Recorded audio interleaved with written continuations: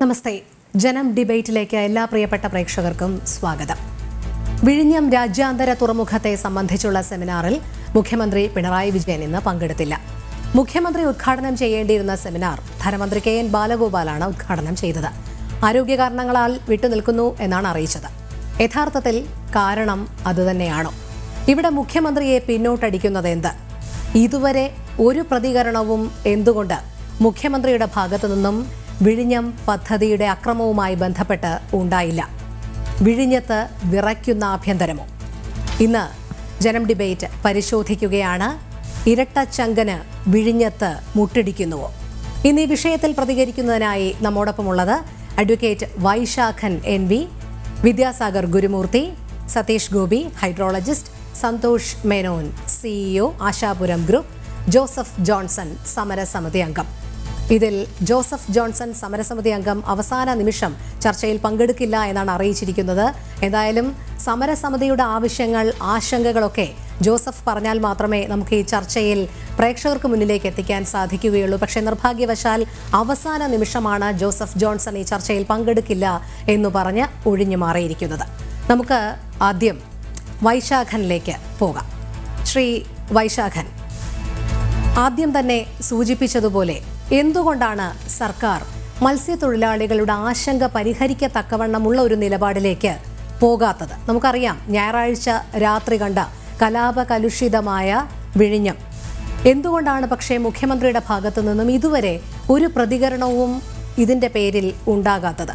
V Sivankutty പ്രതികരിച്ചു K N Balagopal പ്രതികരിച്ചു അബ്ദുറഹ്മാൻ പ്രതികരിച്ചു. സി പി എമ്മിന്റെ നിലപാട് വ്യക്തമാക്കി. പക്ഷേ മുഖ്യമന്ത്രി മാത്രം മൗനം തുടരുന്നു. എന്തുകൊണ്ടെന്നാണ് താങ്കൾ കരുതുന്നത്?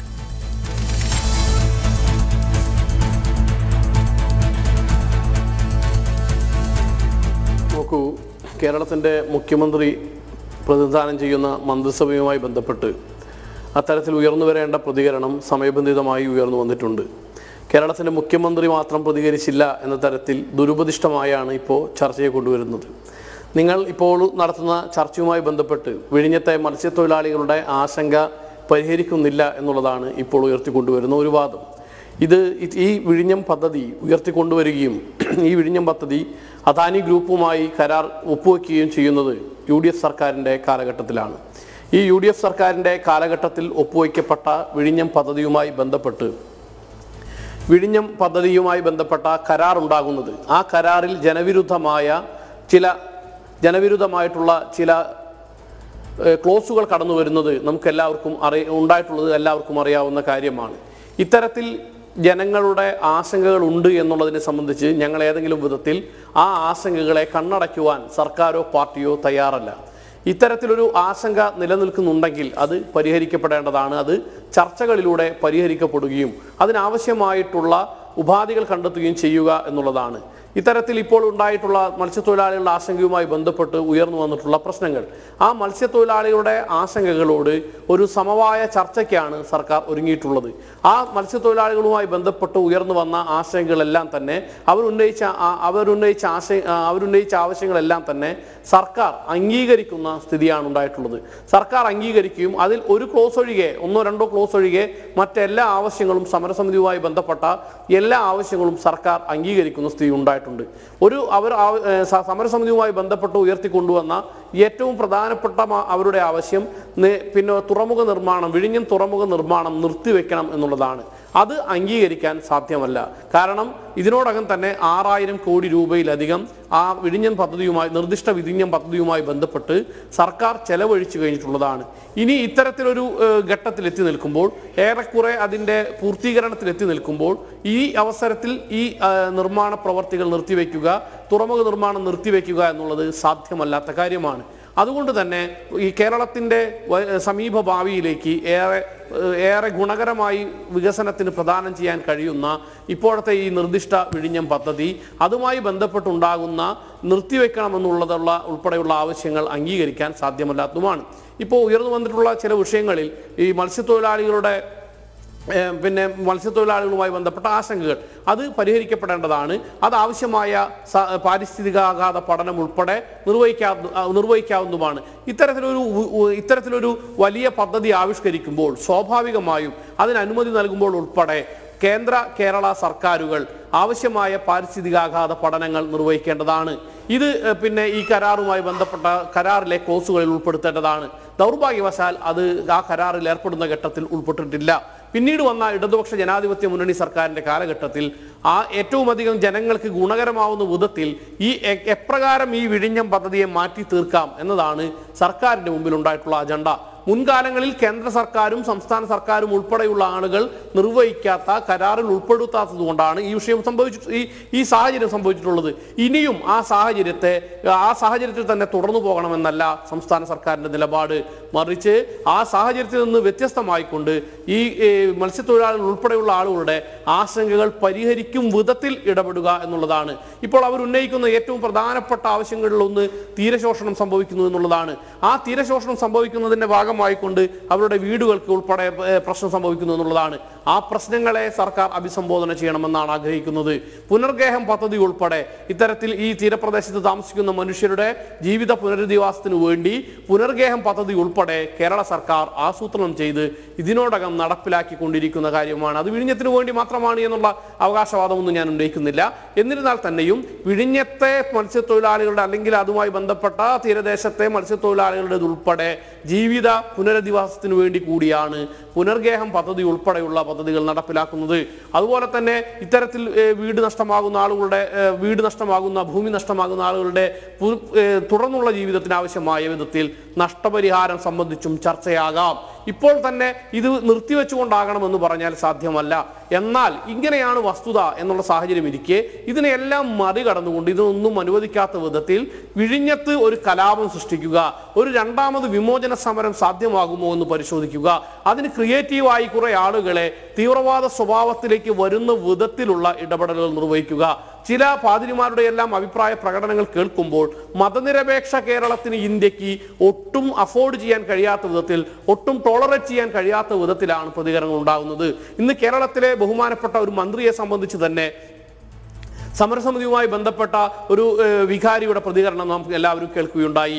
ആ ആ പ്രതികരണത്തിനകത്ത് വളരെ ഭംഗിയായി പറയുന്ന ഒരു കാര്യം ഈ മന്ത്രിയുടെ പേര് തന്നെ ആ മന്ത്രിയുടെ പേര് തന്നെ തീവ്രവാദമാണ് എന്നുള്ളതാണ്. അത്തരത്തിൽ പേര് കേൾക്കുമ്പോഴേക്കും ഇത് തീവ്രവാദമാണ് എന്നെല്ലാം വർഗീയത പുലർത്തുന്ന വർഗീയത പ്രചരിപ്പിക്കാവുന്ന വിധത്തിൽ ഇപ്പോൾ എത്തി നിൽ സമരസമിതി എത്തി നിൽക്കുകയാണ്. ഇതേ സമരസമിതിയുമായി ബന്ധപ്പെട്ട ലത്തിൻ കത്തോലിക്ക സഭ മുൻപ് സൂസൈപാക്യം എന്ന് പറയുന്ന അതിന്റെ പരമോന്നത സമിതിയുടെ തലവനായിരുന്നയാൾ മുൻകാലത്ത് ആവശ്യപ്പെട്ടിരുന്നത് കേരളത്തിലെ സർക്കാരോട് ആവശ്യപ്പെട്ടത് എത്രയും അടിയന്തര പ്രാധാന്യത്തിൽ കേരളത്തിന്റെ വികസനത്തിന് അനുഗുണമായ വിധത്തിൽ ഈ വിഴിഞ്ഞം പദ്ധതി നടപ്പിലാക്കണമെന്നുള്ളതാണ് ഇപ്പോഴാണ് സഭ പുറകിലേക്ക് പോകുന്ന സ്ഥിതി ഉണ്ടാകുന്നത്. ഒൻപത് വർഷം പൂർത്തീകരിക്കാൻ പോവുകയാണ്. ഇതിന്റെ നിർമ്മാണ പ്രവർത്തികൾ ആരംഭിച്ച് ഒൻപത് വർഷം പൂർത്തീകരിക്കാൻ പോകുന്നു. ഏറെക്കുറെ അതിന്റെ ആദ്യത്തെ കപ്പൽ അവിടെ അടുക്കാൻ വേണ്ടി പോകുന്നു. ഏറെക്കുറെ ഇതെല്ലാം സാധ്യമാകുന്ന ഘട്ടത്തിൽ നിൽക്കുമ്പോഴാണ് ഇത് നിർത്തിവെക്കണമെന്നുള്ളത്. ഇത് യാതൊരു വിധത്തിലും അംഗീകരിക്കാവുന്നതല്ല. ഇത്രയധികം തുക ചെലവഴിച്ചു കഴിഞ്ഞിട്ടുള്ള ഘട്ടത്തിൽ ഇത്രയധികം തുക തുകയെല്ലാം ചെലവഴിച്ചു കഴിഞ്ഞ് ഇതിന്റെ നിർമ്മാണ പുരോഗതി പിന്നെ പൂർത്തീകരണത്തിന്റെ ഘട്ടത്തിൽ നിൽക്കുമ്പോൾ അത് ഇനി നിർത്തിവെക്കണമെന്ന് പറഞ്ഞാൽ സാധ്യമല്ല ഇതിന ഇതിനകം തന്നെ ചില വിഷയങ്ങൾ ഉയർന്നു വന്നിട്ടുണ്ട്. തൊട്ടപ്പുറത്തു നിന്നുള്ള സ്വകാര്യ തുറമുഖങ്ങളിൽ നിന്ന് അത്തരത്തിലുള്ള തുറമുഖ ലോബികളിൽ നിന്ന് പണം കൈപ്പറ്റിയതിന്റെ കൂടി ഉത്തരവാദിത്വം ഇതിലെ സമരസമിതി നേതാക്കൾ അവരുടെ വ്യക്തിപരമായ അക്കൗണ്ടുകളിലൂടെ അത്തരം ആളുകളിൽ നിന്ന് പണം കറ്റി കൈപ്പറ്റിയത് ഉൾപ്പെടെയുള്ള ആരോപണങ്ങൾ നിലനിൽക്കുന്നുണ്ട്. ഇതെല്ലാം നിൽക്കുന്ന സാഹചര്യത്തിൽ നാം കൂട്ടി വായിക്കേണ്ടുന്നത് ഇവിടെ ഈ വിഴിഞ്ഞം തുറമുഖ പദ്ധതിയെ അട്ടിമറിക്കുക എന്ന നയവും നിലപാടുമാണ് സമരസമിതിയുമായി ബന്ധപ്പെട്ടവർ ഉയർത്തിപ്പിടിക്കുന്നത് നടപ്പിലാക്കാൻ ശ്രമിക്കുന്നത്. തീർച്ചയായും മത്സ്യത്തൊഴിലാളികളുടെ ആശങ്കകൾ പരിഹരിക്കേണ്ടതാണ് യാതൊരു സംശയവുമില്ലാത്ത കാര്യമാണ്. അതുമായി ബന്ധപ്പെട്ട് ചർച്ചയാകാം. അതിന്റെ ചർച്ച മാത്രമല്ല അതിന് മത്സ്യത്തൊഴിലാളികളുടെ ജീവിത നിലവാരത്തെ കച്ചവടത്തെ ബാധിക്കാത്ത വിധത്തിൽ അവരുടെ മുൻപോട്ട് പോക്കിനെ ബാധിക്കാത്ത വിധത്തിൽ അവർക്ക് ആവശ്യമായ നഷ്ടപരിഹാരം ഉൾപ്പെടെ ആകാം എന്നുള്ളത് സർക്കാരിന്റെ നിലപാടുമാണ്. പക്ഷേ ഈ സർക്കാരിന്റെ നിലപാട് മത്സ്യത്തൊഴിലാളികളിലേക്ക് എത്തുന്നില്ല. സമാധാന ശ്രമം പുനഃസ്ഥാപിക്കുന്നതിന് വേണ്ടിയുള്ള നടപടികൾ ഉണ്ടാകുന്നില്ല. തങ്ങൾ ആവശ്യപ്പെടുന്നതൊന്നും സാധിക്കുന്നില്ല എന്നുള്ള രീതിയിലാണ് സമരസമിതി ഇപ്പോഴും പറഞ്ഞുകൊണ്ടിരിക്കുന്നത്. നേരത്തെ നമ്മൾ ഡിബേറ്റിന്റെ തുടക്കത്തിൽ സൂചിപ്പിച്ചതുപോലെ സമരസമിതിയുടെ അംഗം നിർഭാഗ്യവശാൽ അവസാന നിമിഷമാണ് വരാതായത്. ഇല്ലെങ്കിൽ ഈ ആശങ്കകളൊക്കെ തന്നെ അദ്ദേഹമാണ് ഈ ചർച്ചയിൽ പറയേണ്ടിയിരുന്നത്. എന്തായാലും എന്തുകൊണ്ടാണ് സർക്കാർ തങ്ങളുടെ നിലപാട് മത്സ്യത്തൊഴിലാളികളുടെ ഭാഗത്തേക്ക് കൃത്യമായി എത്തിക്കാത്തത് എന്നുള്ള ഒരു ചോദ്യം തന്നെയാണ് ഇപ്പോഴും ഉയരുന്നത്. അതിലേക്ക് എത്താം ശ്രീ വൈശാഖൻ. അതിനു മുമ്പ് ഹൈഡ്രോളജിസ്റ്റ് സതീഷ് ഗോപിയിലേക്ക് പോവുകയാണ്. ശ്രീ സതീഷ് ഗോപി ആദ്യം പറഞ്ഞതുപോലെ തന്നെ മത്സ്യത്തൊഴിലാളികൾ ഏറ്റവും അധികം ഉന്നയിച്ചിരുന്ന വിഴിഞ്ഞം പദ്ധതി നടപ്പിൽ വന്നാലുള്ള ഏറ്റവും ദോഷകരമായ വസ്തുത എന്ന് പറയുന്നത് തീരശോഷണം എന്നുള്ളതായിരുന്നു. വലിയ രീതിയിലുള്ള തീരശോഷണം സംഭവിക്കുന്നു. അതിനനുസൃതമായി തങ്ങളുടെ ജീവനോപാധി നഷ്ടമാകുന്നു. പുനരധിവാസം അതിനനുസരിച്ച് നടക്കുന്നില്ല തുടങ്ങിയവയായിരുന്നു ഇവർ ഏറ്റവും കൂടുതൽ ഉന്നയിച്ചിരുന്ന ഒരു വിമർശനം. പക്ഷേ തീരശോഷണം എന്നുള്ളത് ഒരു ആഗോള പ്രതിഭാസം എന്നാണ് കാലാവസ്ഥാ നിരീക്ഷണ വിദഗ്ധരും ശാസ്ത്രജ്ഞരും എല്ലാം സൂചിപ്പിക്കുന്നത്. താങ്കൾ ഈ മേഖലയിൽ വിഴിഞ്ഞ പദ്ധതിയുമായി ബന്ധപ്പെട്ട പ്രോജക്റ്റിൽ വർക്ക് ചെയ്തിരുന്ന ആൾ കൂടിയാണ്. അതുകൊണ്ട് താങ്കൾക്ക് ഇതിനെക്കുറിച്ച് കൃത്യമായ ഒരു ധാരണയുണ്ടാകും. ടെക്നിക്കലി ഇത് എങ്ങനെയാണെന്നുള്ളത് പറഞ്ഞു തരാൻ സാധിക്കും. പ്രേക്ഷകരുടെ അറിവിലേക്കായി തീരശോഷണം വിഴിഞ്ഞം പദ്ധതി യാഥാർത്ഥ്യമാകുന്നതിലൂടെ വലിയ രീതിയിലുള്ള തീരശോഷണം ഉണ്ടാകുകയും അതിനനുസൃതമായി ആയിരക്കണക്കിന് വരുന്ന മത്സ്യത്തൊഴിലാളികളെ പ്രതികൂലമായി ബാധിക്കുകയും ചെയ്യും എന്നുള്ള സമരസമിതിയുടെ വാദത്തെ താങ്കൾ എങ്ങനെയാണ് കാണുന്നത്? ആദ്യമായി ഞാനൊരു കാര്യം പറഞ്ഞോട്ടെ. ഞാൻ ഹൈഡ്രോളജിസ്റ്റ് അല്ല ഹൈഡ്രോഗ്രാഫറാണ്. ഹൈഡ്രോഗ്രാഫർ എന്നുള്ളതാണ് ഡെസിഗ്നേഷൻ റിട്ടയർഡ് ഹൈഡ്രോഗ്രാഫർ. അപ്പോൾ ഞാൻ ആ വാദഗതിയിലേക്ക് കടക്കുകയാണ്. ശരിയാണ് സമുദ്രതീരത്ത് ഏതെങ്കിലും തരത്തിലുള്ള നിർമ്മാണ പ്രവർത്തനങ്ങൾ നടത്തുകയാണെങ്കിൽ അതിന്റെ ഒരു ഒരു ആഫ്റ്റർ എഫക്റ്റ് ഒരു റിയാക്ഷൻ തീർച്ചയായിട്ടും തീരത്തിൽ സംഭവിക്കുമെന്നുള്ളത് അത് യാഥാർത്ഥ്യമാണ്. പക്ഷേ ഇവിടെ വിഴിഞ്ഞത്തെ സംബന്ധിച്ചിടത്തോളം വിഴിഞ്ഞത്ത് വിഴിഞ്ഞം എന്ന് പറയുന്ന ലൊക്കേഷൻ അത് വളരെ ഇമ്പോർട്ടന്റ് ആണ്. വിഴിഞ്ഞം എന്ന് പറയുന്ന ഒരു ലൊക്കേഷൻ ഒരു സ്ട്രാറ്റജിക് ഇമ്പോർട്ടൻസ് ഉള്ള ഒരു ലൊക്കേഷനാണ് അവിടെ നമ്മൾ സൂക്ഷ്മമായിട്ട് വിലയിരുത്തി കഴിഞ്ഞാൽ വിഴിഞ്ഞമിരിക്കുന്ന പൊസിഷൻ എന്ന് പറയുന്നത് ഒരു സെഡിമെന്റ് സെല്ലിനകത്താണ് അതായത് കോവളത്ത് ഒരു പാറ അല്ലെങ്കിൽ കര പുറത്തേക്ക് പ്രൊജക്റ്റ് ചെയ്ത് നിൽക്കുന്നു. തീരത്തിന് നമ്മൾ കേരളത്തിന്റെ തീരം അതായത് ഇന്ത്യയുടെ പടിഞ്ഞാറൻ തീരം ഒരു സ്ട്രൈറ്റ് ലൈൻ വരച്ചാൽ ആ ലൈനിന്റെ പുറത്തേക്ക് ഒന്നര കിലോമീറ്റർ തള്ളി നിൽക്കുന്ന ഒരു പാറക്കൂട്ടം. അത് കഴിഞ്ഞിട്ട് കുറേ പോക്കറ്റ് ബീച്ചസ് ആ പോക്കറ്റ് ബീച്ചസ് എല്ലാം കഴിഞ്ഞതിന് ശേഷം കുറേ പാറക്കൂട്ടം വീണ്ടും ചെറിയ ചെറിയ പാറക്കൂട്ടം. ഈ പാറക്കൂട്ടം ആവറേജ് നാൽപ്പത് മീറ്ററോളം കരയിൽ ഉയർന്നു നിൽക്കുന്നതാണ്. സമുദ്ര നിരപ്പിൽ നിന്നും ഉയർന്നു നിൽക്കുന്നതാണ്. അത് കഴിഞ്ഞിട്ട് ഒരു ബേ ബേ എന്ന് പറഞ്ഞാൽ ഒരു ഉൾക്കടൽ കടൽ ഉള്ളിലോട്ട് കയറി കിടക്കുന്ന ഒരു പ്രദേശം. അത് കഴിഞ്ഞിട്ട് പിന്നെ ആഴിമല ശിവക്ഷേത്രത്തിന്റെ അവിടെ ഒരു ഇരുന്നൂറ്റി അൻപത് മീറ്ററോളം പാറ പുറത്തേക്ക് തള്ളി നിൽക്കുന്നു. ഈ ആഴിമല ശിവക്ഷേത്രത്തിൽ പാറ പുറത്തേക്ക് തള്ളി നിൽക്കുന്ന ആ പോയിന്റ് മുതൽ കോവളം ഗ്രൂവ് എന്ന് പറയും. കോവളത്തെ പാറ പുറത്തേക്ക് കോവളം ബീച്ച് കഴിഞ്ഞ ഉടനെ പാറ പുറത്തേക്ക് തള്ളി നിൽക്കുന്ന സ്ഥലം. ഇതിന് ഉള്ളിലുള്ളതാണ് ഒരു സെഡിമെൻ സെൽ ഒരു സെഡിമെൻ സബ് സെൽ ഇത് national centre for sustainable coastal management നമ്മുടെ കേന്ദ്ര സർക്കാരിന്റെ ഉടമസ്ഥതയിലുള്ളതാണ്. അവിടുത്തെ ശാസ്ത്രജ്ഞന്മാർ ഇരുപത് വർഷം ആയിരത്തി തൊള്ളായിരത്തി തൊണ്ണൂറ് മുതൽ രണ്ടായിരത്തി പതി രണ്ടായിരത്തി പത്ത് വരെയുള്ള നിരീക്ഷണങ്ങൾ നടത്തിയിട്ടാണ് ഇത് ഓരോ സ്ഥലവും തീരത്ത് സബ് സെല്ലുകളായിട്ട് തിരിച്ചിട്ടുള്ളത്. ഇവിടെ ഒരു സബ് സെൽ ഒരു സെല്ലിനകത്താണ് ഈ പ്രദേശം വരുന്നത്. ഈ സെല്ലിനകത്ത് വരുന്ന പ്രദേശത്തിൽ എന്ത് ഏതെങ്കിലും തരത്തിലുള്ള നിർമ്മാണ പ്രവർത്തനങ്ങളോ അല്ലെങ്കിൽ ഏതെങ്കിലും പ്രവർത്തനം നടത്തിയാൽ അതിന്റെ റിയാക്ഷൻ അതിനുള്ള പരിണത ഫലം ഇതിന് ഈ സെല്ലിനുള്ളിൽ തന്നെ നിൽക്കുള്ളൂ സെല്ലിന് വിട്ട് പുറത്തോട്ട് പോകില്ല അത് അത് എന്താന്ന് വെച്ചാൽ ഇതിനകത്ത് ഡ്രഡ്ജിങ് നടത്തിയിരുന്നാലോ ഒരു തുറമുഖ നിർമ്മാണം നടത്തിയിരുന്നാലോ ഒരു പിന്നീട് ബ്രേക്ക് വാട്ടറിന്റെ കൺസ്ട്രക്ഷൻ നടത്തിയിരുന്നാലോ ഇതിലുണ്ടാകുന്ന ആഘാതം പാരിസ്ഥിതിക ആഘാതം എന്തെങ്കിലും ഉണ്ടാ ഉണ്ടാകുന്നുണ്ടെങ്കിൽ അത് ഈ സെല്ലിനുള്ളിൽ മാത്രമേ നിൽക്കുള്ളൂ. സെല്ല് വിട്ട് പുറത്തോട്ട് പോകില്ല.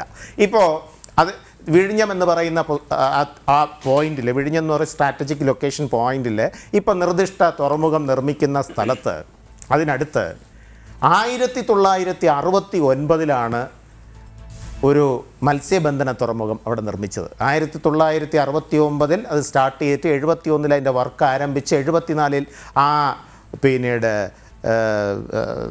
ഫിഷറീസ് പോർട്ട് അതായത് മത്സ്യബന്ധന തുറമുഖം അത് ഓപ്പൺ ചെയ്തു. അത് പ്രവർത്തനം ആരംഭിച്ചു. അത് പ്രവർത്തനം ആരംഭിച്ച അന്ന് മുതൽ ഈ ഹാർബർ എഞ്ചിനീയറിംഗ് ഡിപ്പാർട്ട്മെന്റും അതുപോലെ നമ്മുടെ ഇത് ഈ മോണിറ്റർ ചെയ്യുന്ന വിവിധ ഏജൻസികൾ ഈ തീരത്തിൽ എന്തെങ്കിലും ആഘാതം ഉണ്ടായിട്ടുണ്ടോ എന്ന് പരിശോധിച്ചിട്ടുണ്ട്. ഒരു ആഘാതവും ഇന്നേ വരെ രേഖപ്പെടുത്തിയിട്ടില്ല. അതൊന്ന്. രണ്ട് ഈ തുറമുഖ ഇപ്പോൾ നിർമ്മിച്ചുകൊണ്ടിരിക്കുന്ന ഈ ഇപ്പോൾ ഇപ്പോഴത്തെ പോർട്ട് വിഴിഞ്ഞം പോർട്ട് വിഴിഞ്ഞം മദർ പോർട്ട് അതിന്റെ നിർമ്മാണം തുടങ്ങിയത് ആരംഭിച്ചത് രണ്ടായിരത്തി പതിനഞ്ച് ഡിസംബർ മാസത്തിൽ രണ്ടായിരത്തി പതിനാറ് ഏപ്രിൽ മാസമാണ് അതിന്റെ ബ്രേക്ക് വാട്ടറിന്റെ കൺസ്ട്രക്ഷൻ തുടങ്ങിയത്. ആ ബ്രേക്ക് വാട്ടറിന്റെ കൺസ്ട്രക്ഷൻ തുടങ്ങി കടലിലോട്ട് ഏകദേശം ഒരു കിലോമീറ്റർ കടലിലോട്ട് തന്നെ തീരത്തിന് പെർപ്പൻഡിക്കുലറായിട്ട് കടലിലോട്ടാണ് ബ്രേക്ക് വാട്ടർ നിർമ്മിച്ചത്. ഏകദേശം ത്രീ പോയിന്റ് വൺ കിലോമീറ്റർ അതിന് നീളമുണ്ടെങ്കിലും കടലിലേക്ക് പെർപ്പൻഡിക്കുലറായിട്ട് ഒരു കിലോമീറ്ററോളം അതിന് നീളമുണ്ട്. പക്ഷേ ആ ആ ഒരു കിലോമീറ്റർ നീളം ഈ സെല്ലിനുള്ളിൽ വരുന്നത് കൊണ്ട് ആ ബ്രേക്ക് വാട്ടർ നിർമ്മിച്ചത് കൊണ്ടുള്ള ഒരു പാരിസ്ഥിതിക ആഘാതവും ഇതിൽ വരുന്നില്ല. അപ്പോൾ ഇതിന്റെ കൺസ്ട്രക്ഷൻ തുടങ്ങുന്നതിന് മുമ്പ് ഇതിന്റെ D P R detailed project report ഉണ്ടാക്കുമ്പോൾ തന്നെ ഇത് സംബന്ധിച്ച് എന്തെങ്കിലും ഏതെങ്കിലും തരത്തിലുള്ള പാരിസ്ഥിതിക ആഘാതമുണ്ടോ എന്നുള്ളത് സ്റ്റഡി നടത്തിയിട്ടുണ്ട്. അത് അടിവരയിട്ട് പറയുന്നു. അതായത് ഇപ്പോൾ ആൾക്കാർ പറയുന്നത് ഈ തുറമുഖം തുടങ്ങിയതിന് മുൻപ് പാരിസ്ഥിതിക ആഘാത പഠനമൊന്നും നടത്തിയിട്ടില്ല. അങ്ങനെ പറയാനേ സാധിക്കുകയില്ല. ഒരു പ്രോജക്റ്റ് തുടങ്ങുമ്പോൾ ആ പ്രോജക്റ്റ് വരുമ്പോൾ ഏതെങ്കിലും തരത്തിലുള്ള പാരിസ്ഥിതിക ആഘാതം ഉണ്ടാകുമോ എന്നുള്ള റിപ്പോർട്ട് ഡി പി ആറിൽ ഉൾപ്പെടുത്തണം. അങ്ങനെ ഉൾപ്പെടുത്തിയിട്ടുണ്ട്. അത് കഴിഞ്ഞിട്ട് കുറച്ച് ആൾക്കാർ ഇതിനെതിരെ നാഷണൽ ഗ്രീൻ ട്രിബ്യൂണലിൽ പോയി സുപ്രീം കോടതിയിൽ പോയി. അപ്പോൾ എന്താ പറഞ്ഞത്? നാഷണൽ ട്രിബ്യൂണലും സുപ്രീം കോടതിയും ഇതിനെ പരിശോധിച്ച് വ്യക്തമായിട്ടുള്ള റിപ്പോർട്ട് നൽകാൻ പറഞ്ഞു. അങ്ങനെ ഗ്രീൻ ട്രിബ്യൂണലിന്റെ ഫുൾ ബെഞ്ച് ആ റിപ്പോർട്ട് പരിശോധിച്ചതിന് ശേഷം രണ്ടായിരത്തി പതിനാറ് സെപ്റ്റംബറിൽ ഈ പ്രോജക്റ്റിന് അനുമതി കൊടുത്തു. ഈ പ്രോജക്റ്റുമായിട്ട് നിങ്ങൾക്ക് മുന്നോട്ട് പോകാം. ഇത് പാരിസ്ഥിതിക ആഘാതമൊന്നും ഉണ്ടാക്കുന്നില്ല എന്ന്. National centre for earth science studies എൻസസ് തിരുവനന്തപുരത്താണ് അതിന്റെ ഓഫീസ് തിരുവനന്തപുരത്താണ് കേന്ദ്രം. അവിടുത്തെ ശാസ്ത്രജ്ഞർ അവിടുത്തെ ശാസ്ത്ര സമൂഹം ഇത് ഈ കാര്യങ്ങളെല്ലാം അവരും പഠിച്ചു. അവരും പഠിച്ച ഗവൺമെന്റിന്റെ നിർദ്ദേശപ്രകാരം റിപ്പോർട്ട് കൊടുത്തിട്ടുണ്ട്. അവരുടെ തന്നെ അവർ പ്രസിദ്ധീകരിച്ച ആ പേപ്പറിൽ അതായത് ആധികാരികമായിട്ടുള്ള പേപ്പറിൽ തന്നെ പറയുന്നുണ്ട് ഈ സെല്ലിനുള്ളിൽ നിന്നും പുറത്തേക്ക് ഒരു സെഡിമെന്റും പോകില്ല. ഈ സെല്ലിനുള്ളിൽ തന്നെ ഏതെങ്കിലും സെഡിമെന്റ്സ് ഉണ്ടെങ്കിൽ ആ സെഡിമെന്റ് ഈ സെല്ലിനുള്ളിൽ കൺഫൈൻ ചെയ്ത് നിൽക്കുകയുള്ളൂ. ഇതിന് പുറത്തോട്ട് പോകില്ല. അപ്പോഴെങ്ങനെയാണ് നമ്മൾ പറയുന്നത്? തീരശോഷണം ഉണ്ടായിട്ടുണ്ടോ എന്ന് ചോദിച്ചാൽ തീരശോഷണം ഉണ്ടായിട്ടുണ്ട്. നമ്മുടെ തീരത്തിലെല്ലാം അമിതമായിട്ടുള്ള തീരശോഷണം ഉണ്ടാകുന്നുണ്ട്. നാൽപ്പത് ശതമാനത്തിൽ കൂടുതലാണ് ഇപ്പോൾ തീരശോഷണം നാൽപ്പത്തൊന്ന് ശതമാനത്തിൽ തീരശോഷണം എത്തി നിൽക്കുന്നു. ഇത് എൻസെസിന്റെ റിപ്പോർട്ടിൽ പറയുന്നുണ്ട്. പണ്ട് തീരശോഷണവും തീരപരിപോഷണവും ഏകദേശം തുല്യമായിരുന്നു. അതായത് മൺസൂൺ കാലഘട്ടത്തിൽ നമ്മളെ കടലിന്റെ തീരത്തുള്ള മണ്ണ് കടലെടുത്തുകൊണ്ട് പോകും കടലെടുത്തുകൊണ്ട് പോയതിന് ശേഷം മൺസൂൺ കഴിയുമ്പോൾ അതിനെ തിരികെ കൊണ്ടുവന്ന് തീരം സമ്പുഷ്ടമാക്കും. ഇപ്പോൾ കുറേ കാലമായിട്ട് രണ്ടായിരത്തി പതിനാറിൽ കാലാവസ്ഥാ വ്യതിയാനം വന്ന് ചുഴലിക്കാറ്റുകളുടെ പ്രവാഹം നമ്മുടെ കിഴക്കൻ പടിഞ്ഞാറൻ തീരത്തിൽ അറേബ്യൻ കടലിന്റെ ഇന്ത്യൻ മഹാസമുദ്രത്തിന്റെ പടിഞ്ഞാറൻ തീരം അതായത് ഇന്ത്യയുടെ പടിഞ്ഞാറൻ തീരത്തുള്ള ഈ തീരപ്രദേശം കേരളം ഉൾപ്പെടുന്ന തീരപ്രദേശങ്ങളിൽ കഴിഞ്ഞ നൂറ് വർഷത്തിനുള്ളിൽ പത്തിൽ താഴെ മാത്രമേ കൊടുങ്കാറ്റുകൾ അല്ലെങ്കിൽ ചുഴലിക്കൊടുങ്കാറ്റുകൾ ഉണ്ടായിട്ടുള്ളൂ എന്ന് രേഖപ്പെടുത്തിയിട്ടുണ്ട് ചരിത്രം. അതേസമയം ബേ ഓഫ് ബംഗാളിൽ തൊട്ടപ്പുറത്ത് ഇന്ത്യയുടെ കിഴക്കൻ തീരത്ത് കഴിഞ്ഞ പത്ത് വർഷത്തിനുള്ളിൽ നൂറിലേറെ ചുഴലിക്കാറ്റുകൾ ഉണ്ടായതായിട്ട് കൃത്യമായിട്ട് രേഖപ്പെടുത്തിയിട്ടുണ്ട്. അപ്പോൾ ഏറെക്കുറെ നമ്മുടെ പടിഞ്ഞാറൻ തീരം സേഫാണ്. ആ പടിഞ്ഞാറൻ തീരം സേഫായിട്ടുള്ള പടിഞ്ഞാറൻ തീരത്തിലാണ് രണ്ടായിരത്തി പതിനാറിന് ശേഷം ഇന്ത്യയുടെ തെക്കൻ മേഖലയിൽ ഒൻപതോളം കൊടുങ്കാറ്റുകൾ റിപ്പോർട്ട് ചെയ്തിട്ടുണ്ട്. അതിൽ ഏറ്റവും ശക്തമായ ചുഴലിക്കാറ്റുണ്ടായത് രണ്ടായിരത്തി പതിനേഴ് ഡിസംബർ കാലഘട്ടത്തിൽ നവംബർ ഡിസംബർ കാലഘട്ടത്തിലാണ്. അന്ന് പറഞ്ഞു കാലാവസ്ഥാ വ്യതിയാനം മൂലമാണ് തിരുവനന്തപുരത്ത് എന്റെ പ്രായം എനിക്ക് ഞാൻ റിട്ടയർ ചെയ്തിട്ട് തന്നെ അഞ്ച് വർഷത്തോളമായി. എന്റെ പ്രായത്തിൽ ഇത്രയും കാലം ജീവിച്ച് ഏകദേശം രണ്ടായിരത്തി പതിനേഴ് വരുമ്പോഴാണ് ആദ്യമായിട്ടൊരു ചുഴലി കൊടുങ്കാറ്റ് നമ്മൾ തിരുവനന്തപുരം നിവാസികൾ എക്സ്പീരിയൻസ് ചെയ്യുന്നത്. അപ്പോൾ ആ ചുഴലിക്കാറ്റ് വന്നപ്പോൾ നമ്മൾ പകച്ചുപോയി. പകച്ചുപോയി എന്ന് പറഞ്ഞാൽ എന്ത് ചെയ്യണമെന്നറിഞ്ഞുകൂടാ കാരണം അങ്ങനെ ഒരു സംഭവം നമ്മൾ നേരിട്ടിട്ടില്ല. അങ്ങനെ ഒരു കാലാവസ്ഥാ വ്യതിയാനം മൂലം ഉണ്ടാകുന്ന ഒരു ദോഷം നമ്മൾ നേരിട്ടിട്ടില്ല. ആ നേരിട്ടപ്പോൾ പറഞ്ഞു ഇത് കാലാവസ്ഥാ വ്യതിയാനം മൂലമാണ് ഇത്തരത്തിലൊരു ചുഴലിക്കാറ്റുണ്ടാകുന്നത്. ഇതിന്റെ ഫലമായിട്ടാണ് കാലാവസ്ഥാ വ്യതിയാനം മൂലമാണ് തീരശോഷണം നമ്മുടെ തീരത്ത് അമിതമായി ഉണ്ടാകുന്നു ഇത് കേരള തീരത്തല്ല. ഇത് ഇന്ത്യയിലെ ഈ കംപ്ലീറ്റ് ഈ പടിഞ്ഞാറൻ തീരം മുഴുവൻ കേ ഇന്ത്യയുടെ കിഴക്കൻ തീരം മുഴുവൻ തീരശോഷണത്തിന് വിധേയമാകുകയാണ്. ഇപ്പോൾ എന്തു പറ്റുന്നു? ശംഖുമുഖത്ത് നിന്ന് എടുത്തുകൊണ്ട് പോയ മണ്ണ് തിരികെ കൊണ്ടുവന്ന് രണ്ടായിരത്തി പതിനെട്ടിലും പത്തൊമ്പതിലും തിരികെ കൊണ്ടുവന്ന് നിക്ഷേപിച്ചിട്ടില്ല. അന്നേരം കൂട്ട നിലവിളിയായി. എന്താണ്? തീരം നഷ്ടപ്പെടുന്നു. ശരിയാണ്. മത്സ്യത്തൊഴിലാളികളുടെ ആശങ്കകൾ നമ്മൾ പരിഹരിക്കപ്പെടേണ്ടതാണ്. അവരുടെ വീടും ബാക്കിയുള്ള അവരുടെ സ്വത്തും അവരുടെ ജീവനും സ്വത്തിനുമൊക്കെ സംരക്ഷണം നൽകേണ്ടത് ഏതൊരു സർക്കാരിന്റെയും പ്രാഥമിക പ്രാഥമികമായ കടമയാണ്. അതിൽ നിന്ന് ഒഴിഞ്ഞു മാറാൻ ഒരു സർക്കാരിനും കഴിയില്ല. ഇത് മത്സ്യത്തൊഴിലാളികളുടെ മാത്രമല്ല എല്ലാ സിറ്റിസന്റെയും അതായത് പൗരന്മാരുടെയും ജീവനും സ്വത്തിനുമാണ് പ്രാഥമികമായിട്ട് ഇമ്പോർട്ടൻസ് കൊടുക്കേണ്ടത്. അതെ. ഇനി ജോസഫ് ജോൺസൺ ആണ് ഇതിന് മറുപടി നൽകേണ്ടത്. സമരസമിതി അംഗം അദ്ദേഹം സൂമിൽ ചേരും എന്നാണ് വിശ്വസിക്കാൻ കഴിയുന്നത്. നമുക്ക് എന്തായാലും അദ്ദേഹത്തിലേക്ക് എത്താം. ഒരു ചെറിയ ഇടവേളയിലേക്ക് പോകേണ്ടതുണ്ട്. വളരെ പെട്ടെന്ന് തിരികെ എത്താം.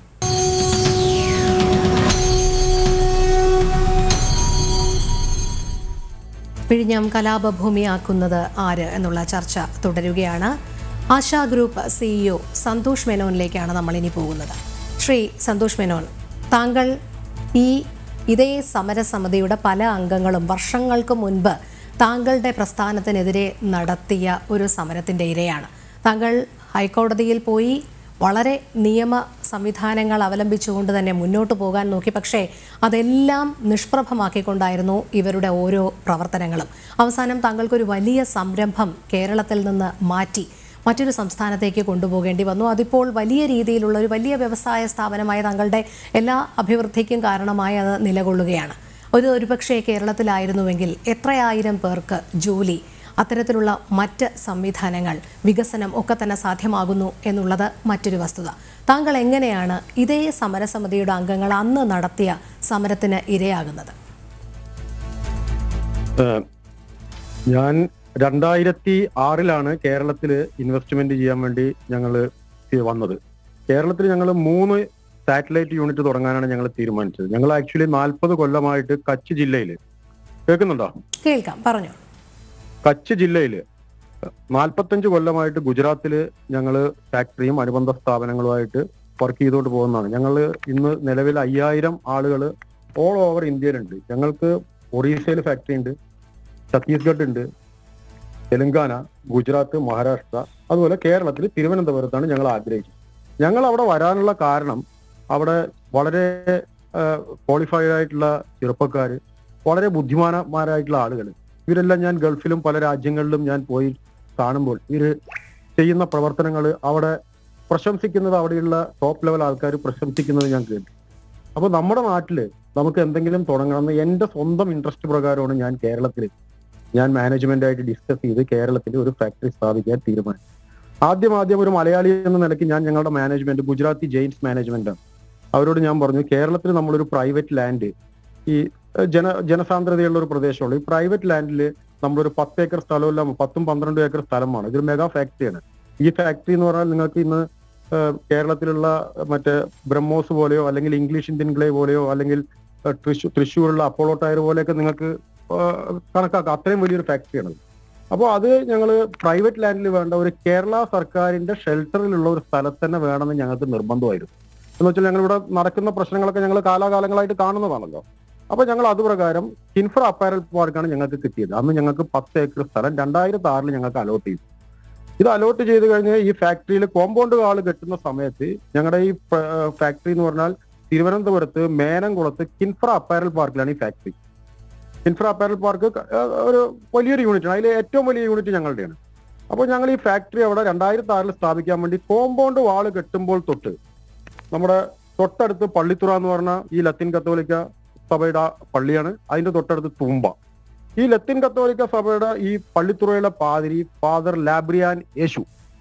ഇദ്ദേഹം നിരന്തരം പ്രശ്നങ്ങൾ ഉണ്ടായിക്കൊണ്ടിരിക്കുക. നിരന്തരം ഫാക്ടറിയിൽ അവിടെ ഈ ഇതുപോലെ തന്നെ ഇപ്പൊ ഈ വിഴിഞ്ഞ് ഇപ്പൊ ഈ വിഴിഞ്ഞത്ത് നടക്കുന്ന പോലെ ഇടയലേഖനം ഇറക്കുക അതുപോലെ പള്ളിയിൽ സൺഡേ മണി അടിക്കുക ഇതൊക്കെ ഞങ്ങൾ ഞാനൊരു മലയാളിയാണെങ്കിലും മുപ്പത്തഞ്ച് കൊല്ലമായിട്ട് ഞാൻ ഗുജറാത്തിലും ബോംബെയിലും വെളിനാട്ടിലുമാണ്.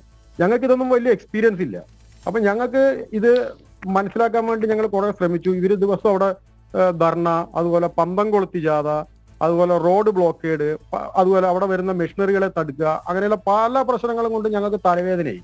എന്നിട്ട് ഞങ്ങൾ രണ്ടായിരത്തി എട്ടിൽ ഈ ഫാക്ടറി കംപ്ലീറ്റ് ആക്കി. രണ്ടു കൊല്ലം ഞങ്ങൾ ഈ ഫാക്ടറി ഇൻസ്റ്റാൾ ചെയ്യാൻ വേണ്ടി ഞങ്ങൾ പരിശ്രമിച്ച് അത് ചെയ്തു. ഞങ്ങളുടെ മെഷീനറി എല്ലാം ജർമ്മനിയിൽ നിന്നും ജപ്പാനിൽ നിന്നും അതുപോലെ യൂറോപ്പിൽ നിന്നൊക്കെ വന്ന ഹൈ ലെവൽ മെഷീനറീസുകളായിരുന്നു ഞങ്ങൾ അതെല്ലാം സ്ഥാപിച്ച് രണ്ടായിരത്തി എട്ട് നവംബർ പതി നവംബർ എട്ട് തീയതി ഒരു ഞായറാഴ്ച ദിവസം ഈ ഫാക്ടറി മൂന്ന് മണിക്ക് ഞങ്ങളൊന്ന് ട്രയൽ റൺ എടുക്കാൻ വേണ്ടി നോക്കിയപ്പോൾ ഇവർ പള്ളിയിൽ കൂട്ടമണി അടിച്ചു ഈ ഫാദറിന്റെ നേതൃത്വത്തിൽ ഒരു മുന്നൂറ് ആളുകൾ കുട്ടികൾ ഇപ്പൊ ഈ വിഴിഞ്ഞത്ത് ഉള്ള പോലെ തന്നെ കുട്ടികളും കുഞ്ഞുങ്ങളും സ്ത്രീകളുമായിട്ട് ഒരു മുന്നൂറ് ആൾക്കാരെ ഇയാൾ ഇദ്ദേഹം ഈ ഫാക്ടറി കൊണ്ടുവന്ന്. ഞങ്ങളുടെ ഈ പള്ളിത്തുറ ഭാഗത്തുള്ള കിഴക്ക് ഭാഗത്തുള്ള വലിയൊരു കോമ്പോ കോമ്പൗണ്ട് വാളുണ്ട്.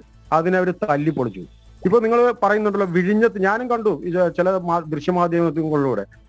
ഈ വിഴിഞ്ഞത്ത് പല ഹിന്ദു കുടുംബങ്ങളുടെയും വീടുകൾ ഇവർ അറ്റാക്ക് ചെയ്തു. ഇത് ഞങ്ങൾ ഞങ്ങളുടെയും ചെയ്തു ഇവർ. ഞങ്ങളുടെ ഫാക്ടറിയുടെ കോമ്പൗണ്ട് വാളിന്റെ ഉള്ളിൽ ഞങ്ങൾ ആരാധിക്കുന്ന നാഗരുടെ ഒരു ക്ഷേത്രം ഉണ്ടായിരുന്നു ഞങ്ങൾ സ്ഥാപിച്ചത്. ഇതവർ തല്ലി പൊളിച്ചു. എന്നിട്ട് ഞാൻ അന്ന് അന്നത്തെ മുഖ്യമന്ത്രിയായ വി എസ് അച്യുതാനന്ദനെ ക്ലിഫ്റ്റ് ഹൗസിൽ പോയി കണ്ടിരുന്നു. അതുപോലെ നമ്മുടെ കോടിയേരി സഖാവ് ഉണ്ടായിരുന്നു. കോടിയേരി സഖാവ് ഞങ്ങൾക്ക് ഹെൽപ്പെല്ലാം ചെയ്തു. അപ്പൊ എന്നോട് പറഞ്ഞു നിങ്ങളുടെ പ്രശ്നം ഇവിടെ പ്രശ്നം ഉണ്ടായതല്ലേ? ഇത് പറഞ്ഞു കഴിഞ്ഞാൽ അത് വേറെ രീതിയിലാവും. അത് കണ്ട് മേനോൻ അത് പറയരുതെന്ന് പറഞ്ഞു. ഞാൻ അത് നിർത്തി. ഇപ്പോഴും ആ നിങ്ങൾക്ക് ആ പ്രദേശത്ത് പോയ കാണാൻ ഞങ്ങളുടെ ആ ആരാധാലയം ഇപ്പോഴും ഉണ്ട് അവിടെ.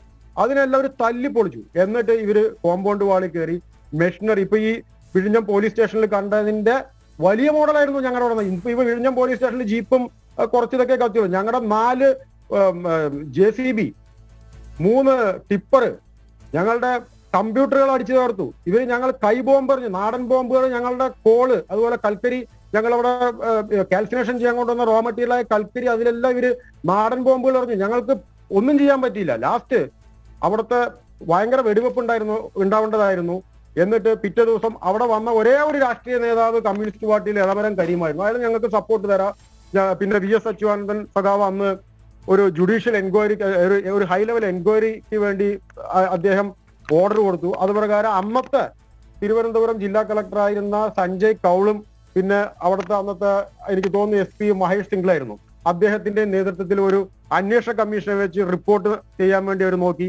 പക്ഷെ ആ റിപ്പോർട്ട് ചെയ്തു വരുന്ന. രണ്ടോ മൂന്നോ മാസം കഴിഞ്ഞപ്പോൾ കേരളത്തിൽ അസംബ്ലി ഇലക്ഷൻ വന്നു. ഉമ്മൻചാണ്ടി സർക്കാർ വന്നു. പിന്നെ നമ്മുടെ തിരുവഞ്ചൂര് ഈ ചെന്നിത്തല ഇവരെല്ലാം വന്നു കഴിഞ്ഞപ്പോൾ ഇവരെല്ലാം ഇപ്പോഴും ഇവിടെ കാണുന്നുണ്ടല്ലോ. കോൺഗ്രസ് സർക്കാർ ഇവർ ഇവരുടെ കൂടെയാണ്. അന്നും ഇതുപോലെ ഈ കോൺഗ്രസ് സർക്കാർ ഇവരുടെ കൂടെയാണ്. ഞാൻ ഉമ്മൻചാണ്ടിയുടെ വീട്ടിൽ പോയി നേരിട്ട് പറഞ്ഞു നിങ്ങളൊരു കാര്യം ചെയ്യണം. ഞങ്ങളുടെ ഈ ഫാക്ടറി അടിച്ചു തകർത്ത ഫാക്ടറിയിൽ നിങ്ങൾ വന്നൊന്ന് കാണണം. ഞങ്ങൾക്ക് വലിയ നാശനഷ്ടമാണ്. ഞങ്ങളുടെ കണക്ക് പ്രകാരം നാൽപ്പത് കോടി രൂപ നഷ്ടം വന്നത്. സർക്കാരിന്റെ കണക്ക് പ്രകാരം പത്ത് കോടി രൂപ നഷ്ടം വന്നില്ല അതിൽ എഫ് ഐ ആറിൽ ഈ ഫാദർ ലാബ്രിയാനേഷ് ഒന്നാം പ്രതിയാണ്. എന്നിട്ട് ഇന്നേ വരെ ആ ആ ഫാദർ ഇപ്പൊ ഈ വിഴിഞ്ഞം പോർട്ടിൽ സമരസമിതിയുടെ കോർഡിനേറ്ററിംഗ് കമ്മിറ്റി ചെയർമാൻ ഈ നമ്മളുടെ ജനൻ ടി വി ഒരു ഒരു കഴിഞ്ഞ ഓഗസ്റ്റിൽ ഒരു ചർച്ച നടത്തിയപ്പോൾ ഇദ്ദേഹത്തിനെ ഞാൻ കണ്ടു തിരിച്ചറിഞ്ഞു.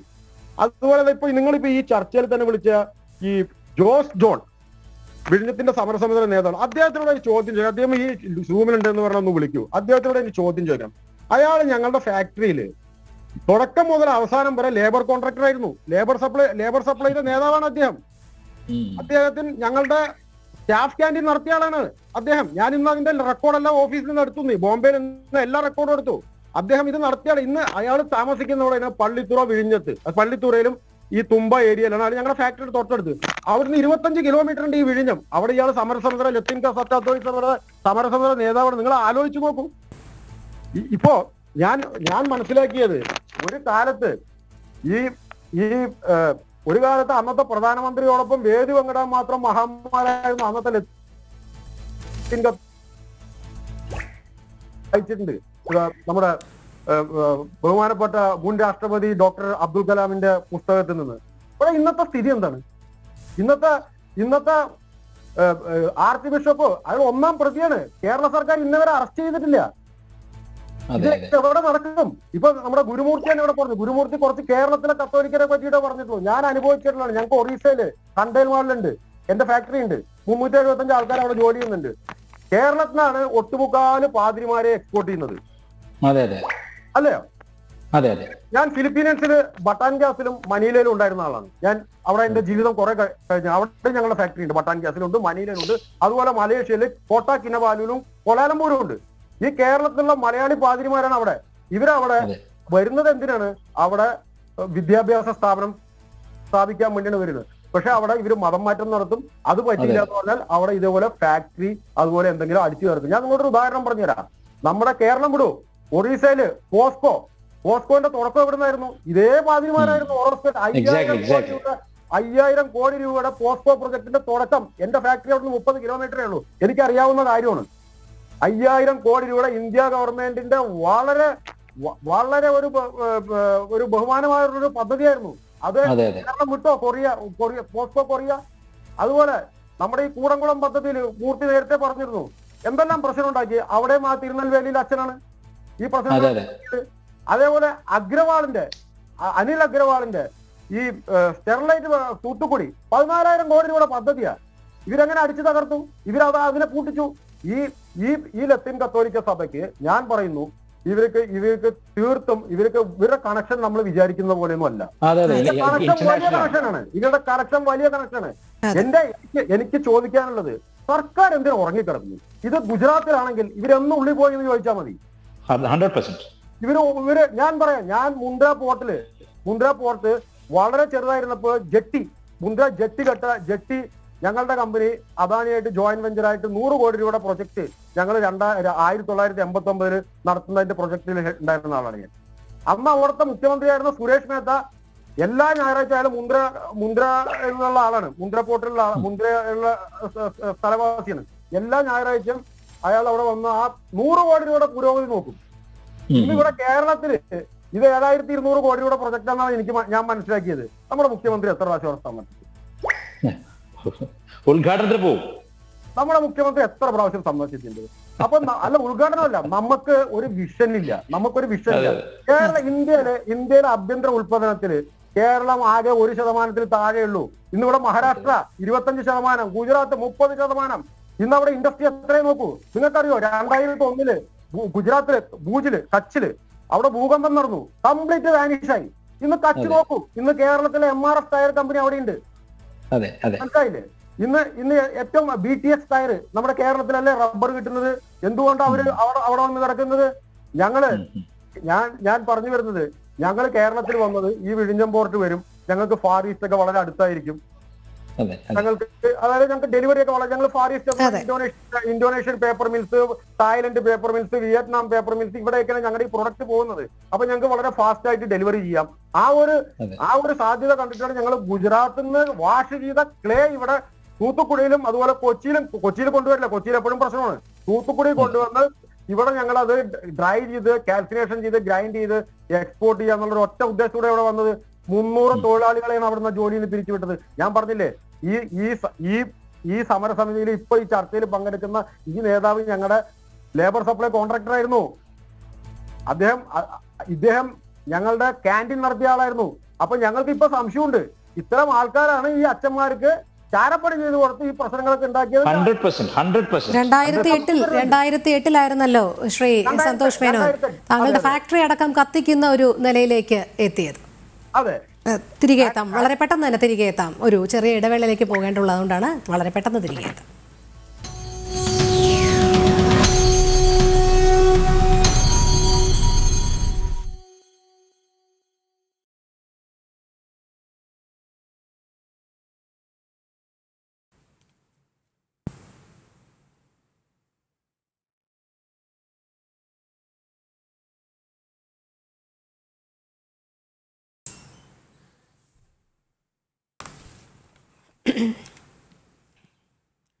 ജോസഫ് ജോൺസണിലാണ്? പോകുന്നത്. റെഡിയാണല്ലോ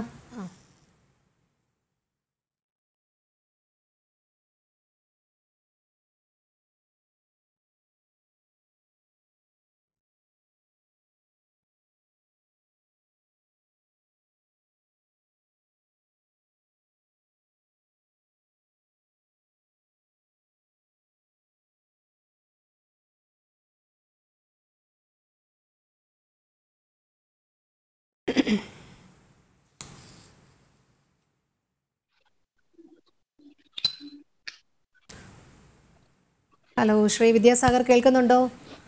കേൾക്കാം കേൾക്കാം. Okay thank you Shri Joseph കേൾക്കുന്നുണ്ടോ? ശ്രീ ജോസഫ് കേൾക്കുന്നുണ്ടോ? ശ്രീ ജോസഫ് കേൾക്കുന്നില്ല താങ്കൾ പറയുന്നത്. മ്യൂട്ടിലാണെന്ന് തോന്നുന്നു. അന്ന് മാറ്റാമോ?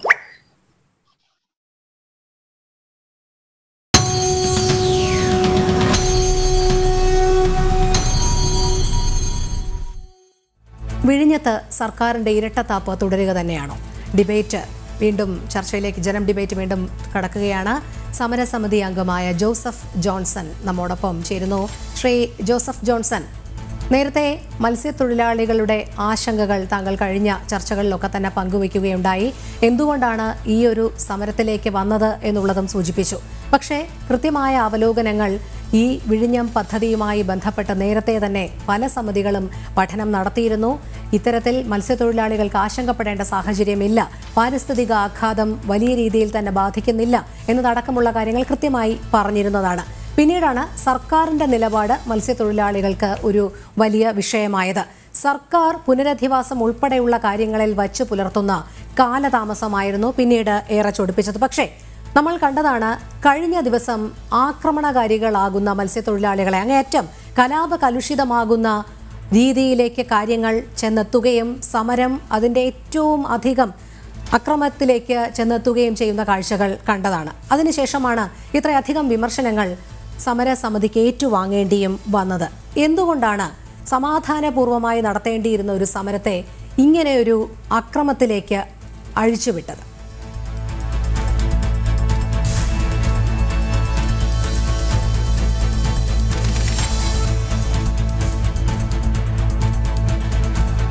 ജോസഫ് ജോൺസന്റെ സൂമിൽ സാങ്കേതിക തകരാറുകളുണ്ട് എന്ന് കരുതുന്നു. അദ്ദേഹത്തിലേക്ക് എത്താം. നമ്മൾ പോകുന്നത് നേരത്തെ സൂചിപ്പിച്ചതുപോലെ തന്നെ സി പി എം പ്രതിനിധി അഡ്വക്കേറ്റ് വൈശാഖനിലേക്കാണ്. ശ്രീ വൈശാഖൻ നേരത്തെ പറഞ്ഞു സർക്കാർ ഇതിൽ ഒരു ഇരട്ടത്താപ്പും വച്ചു പുലർത്തുന്നില്ല. കൃത്യമായി അവലോകനങ്ങൾ നടത്തുന്നു. മത്സ്യത്തൊഴിലാളികളുടെ എല്ലാ ആവശ്യങ്ങളും അതിലൊന്നൊഴിച്ച് തുറമുഖ നിർമ്മാണം നിർത്തിവെക്കണം എന്നുള്ള ആവശ്യം ഒഴിച്ച് ബാക്കി എല്ലാത്തിനോടും അനുഭാവപൂർണമായ സമീപനമാണ് നടത്തിയതെന്നാണ്. പക്ഷേ നേരത്തെ നമ്മൾ പറഞ്ഞതുപോലെ മുഖ്യമന്ത്രി എന്തുകൊണ്ട് നേരിട്ട് ഇടപെടുന്നില്ല? മുഖ്യമന്ത്രി എന്തുകൊണ്ട് മത്സ്യത്തൊഴിലാളികളുടെ ആശങ്കകൾ പരിഹരിക്കാൻ തക്കവണ്ണമുള്ളൊരു പ്രതികരണം നടത്തുന്നില്ല എന്നുള്ളതാണ്. നേരത്തെ പറഞ്ഞ മന്ത്രിമാരൊക്കെ ഇപ്പോൾ വി. ശിവൻകുട്ടി ആയാലും അബ്ദുറഹ്മാൻ ആയാലും കെ. എൻ. ബാലഗോപാൽ ആയാലും ഒക്കെ അവരുടെ നിലപാട് വ്യക്തമാക്കി കഴിഞ്ഞു. ഇവിടെ ഉയരുന്ന ചോദ്യം എന്ന് പറയുന്നത് ഈ പുനരധിവാസം സംബന്ധിച്ചുള്ള ഒരു കാലതാമസമാണ് മത്സ്യത്തൊഴിലാളികളെ ഇത്രയധികം ചൊടിപ്പിച്ചത്. അതിനുശേഷമാണ് അവർ മറ്റ് പല അജണ്ടകളും എന്ന് രാഷ്ട്രീയ കക്ഷികൾ ആരോപിക്കുന്നുണ്ട്. എന്തായാലും ഈ അവസാന നിമിഷം അതായത് കപ്പിനും ചുണ്ടിനും ഇടയിൽ നിൽക്കുകയാണ് വിഴിഞ്ഞം പദ്ധതി. രണ്ടായിരത്തി ഇരുപത്തി മൂന്ന് സെപ്റ്റംബറിലാണ് അത് കമ്മീഷൻ ചെയ്യാൻ പോകുന്നത്.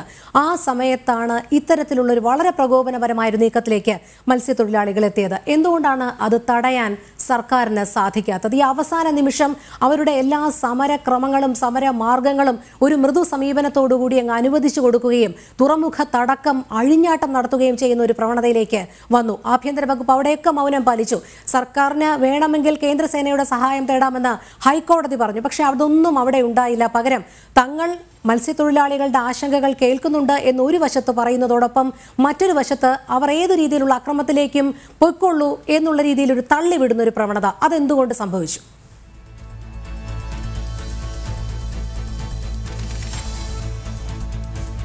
ഇവിടെ ഉന്നയിക്കപ്പെട്ട കാര്യങ്ങളിൽ ശിവൻകുട്ടിയുടെ പ്രതികരണമുണ്ടായി അതുപോലെ തന്നെ അബ്ദുറഹിമാന്റെ പ്രതികരണമുണ്ടായി അതുപോലെ കെ എൻ ബാലഗോപാലിന്റെ പ്രതികരണമുണ്ടായി. അവരെല്ലാം ഏതോ വ്യക്തിപരമായ കാര്യങ്ങൾ പറഞ്ഞത് കണക്കാണ് അവതാരക ഇവിടെ അവതരിപ്പിക്കുന്നത്. അല്ലല്ല ഞാൻ.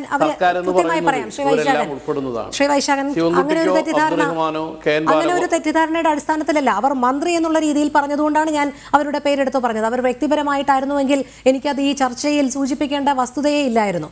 അവർ ഈ സർക്കാരിന്റെ ഭാഗമായി നിന്നുകൊണ്ട് തന്നെയാണ് വി. ശിവൻകുട്ടി പറഞ്ഞത്. കലാപഭൂമിയാക്കുന്നു. അത് അനുവദിക്കാൻ പാടില്ല. കെ. എൻ. ബാലഗോപാൽ പറഞ്ഞത് തുറമുഖ നിർമ്മാണം അവസാന നിമിഷം നിർത്തലാക്കാൻ കഴിയില്ല. അബ്ദുറഹ്മാൻ പറഞ്ഞത് ഇത് മറ്റെന്തോ അജണ്ടയുടെ പുറത്ത് മത തീവ്രവാദം എന്നതടക്കമുള്ള പരാമർശങ്ങളിലേക്ക് കൂടി കടന്നു. അവരാരും വ്യക്തിപരമായ പരാമർശമല്ല നടത്തിയത്. അതുകൊണ്ടാണ് സർക്കാരിന്റെ ഭാഗത്തു നിന്നുള്ള മന്ത്രിമാരുടെ പ്രതികരണമാണ് ഞാൻ ആരാഞ്ഞത്. അവിടെയാണ് മുഖ്യമന്ത്രി എന്തുകൊണ്ട് വരുന്നില്ല? വാർത്താ സമ്മേളനങ്ങൾ അദ്ദേഹം നടത്തുന്ന പതിവുണ്ട്. കൃത്യമായി തന്നെ ഇത്തരം പല വിഷയങ്ങൾ കാര്യങ്ങളിലും എന്തുകൊണ്ട് അദ്ദേഹത്തിന്റെ ഒരു പ്രതികരണം വന്നില്ല എന്ന് ഞാൻ ആദ്യം ചോദിച്ചത്. അത് പോട്ടെ. പക്ഷേ ഈ പറഞ്ഞതുപോലെ സർക്കാരിന്റെ നിലപാട് സർക്കാരിന്റെ സമീപനം മത്സ്യത്തൊഴിലാളികളോടുള്ള സമീപനം അത് എന്തുകൊണ്ട് അവരിലേക്ക് കൃത്യമായി എത്തുന്നില്ല എന്നുള്ളതാണ് ചോദ്യം. കാരണം ഒരു ഭാഗത്ത് അവർ നടത്തുന്ന ഈ അക്രമ പരമ്പരകളിലോടൊക്കെ തന്നെ മൃദു സമീപനം വെച്ചു പുലർത്തുന്നു കസ്റ്റഡിയിൽ എടുത്തവരെ സ്റ്റേഷൻ ജാമ്യത്തിൽ വിടുന്നു കേസെടുക്കുന്നു എന്നുള്ളതല്ലാതെ അറസ്റ്റ് ചെയ്യുന്നില്ല. പല വൈദികരും സ്ഥലത്തുണ്ട് പള്ളികളിലുണ്ടെങ്കിൽ പോലും അവരൊക്കെ ഒഴിവിൽ ഒളിവിലാണ് കാണുന്നില്ല എന്ന് പറയുന്നു. അത്തരമൊരു മൃദു സമീപനം ഒരു ഭാഗത്ത് വച്ചു പുലർത്തിക്കൊണ്ട് മറ്റൊരു ഭാഗത്ത് മത്സ്യത്തൊഴിലാളികൾ എന്തിനാണ് ഈ രീതിയിലുള്ള അക്രമത്തിലേക്ക് പോകുന്നത് എന്നുള്ള ചോദ്യം ഉന്നയിക്കുന്നു. അതാണ് ചോദിച്ചത് സർക്കാർ എന്തിനാണ് ഒരു ഇരട്ട താപ്പ് നയം കൊണ്ടുപോകുന്നത് എന്ന്.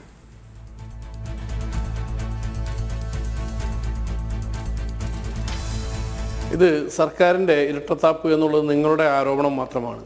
ഇവിടെ സർക്കാർ നിങ്ങളിവിടെ പരാമർശത്തിലൊരു പിശക് പരാമർശത്തിലൊരു പിശക് സംഭവിക്കുന്നുണ്ട്. ആ പിശക് എന്താണെന്ന് വെച്ചാൽ സമരസമിതിയും മത്സ്യത്തൊഴിലാളികളും ഒന്നാണ് എന്ന വിധത്തിലുള്ള പരാമർശം ഉണ്ടാകുന്നുണ്ട് അത് പിശകാണ്.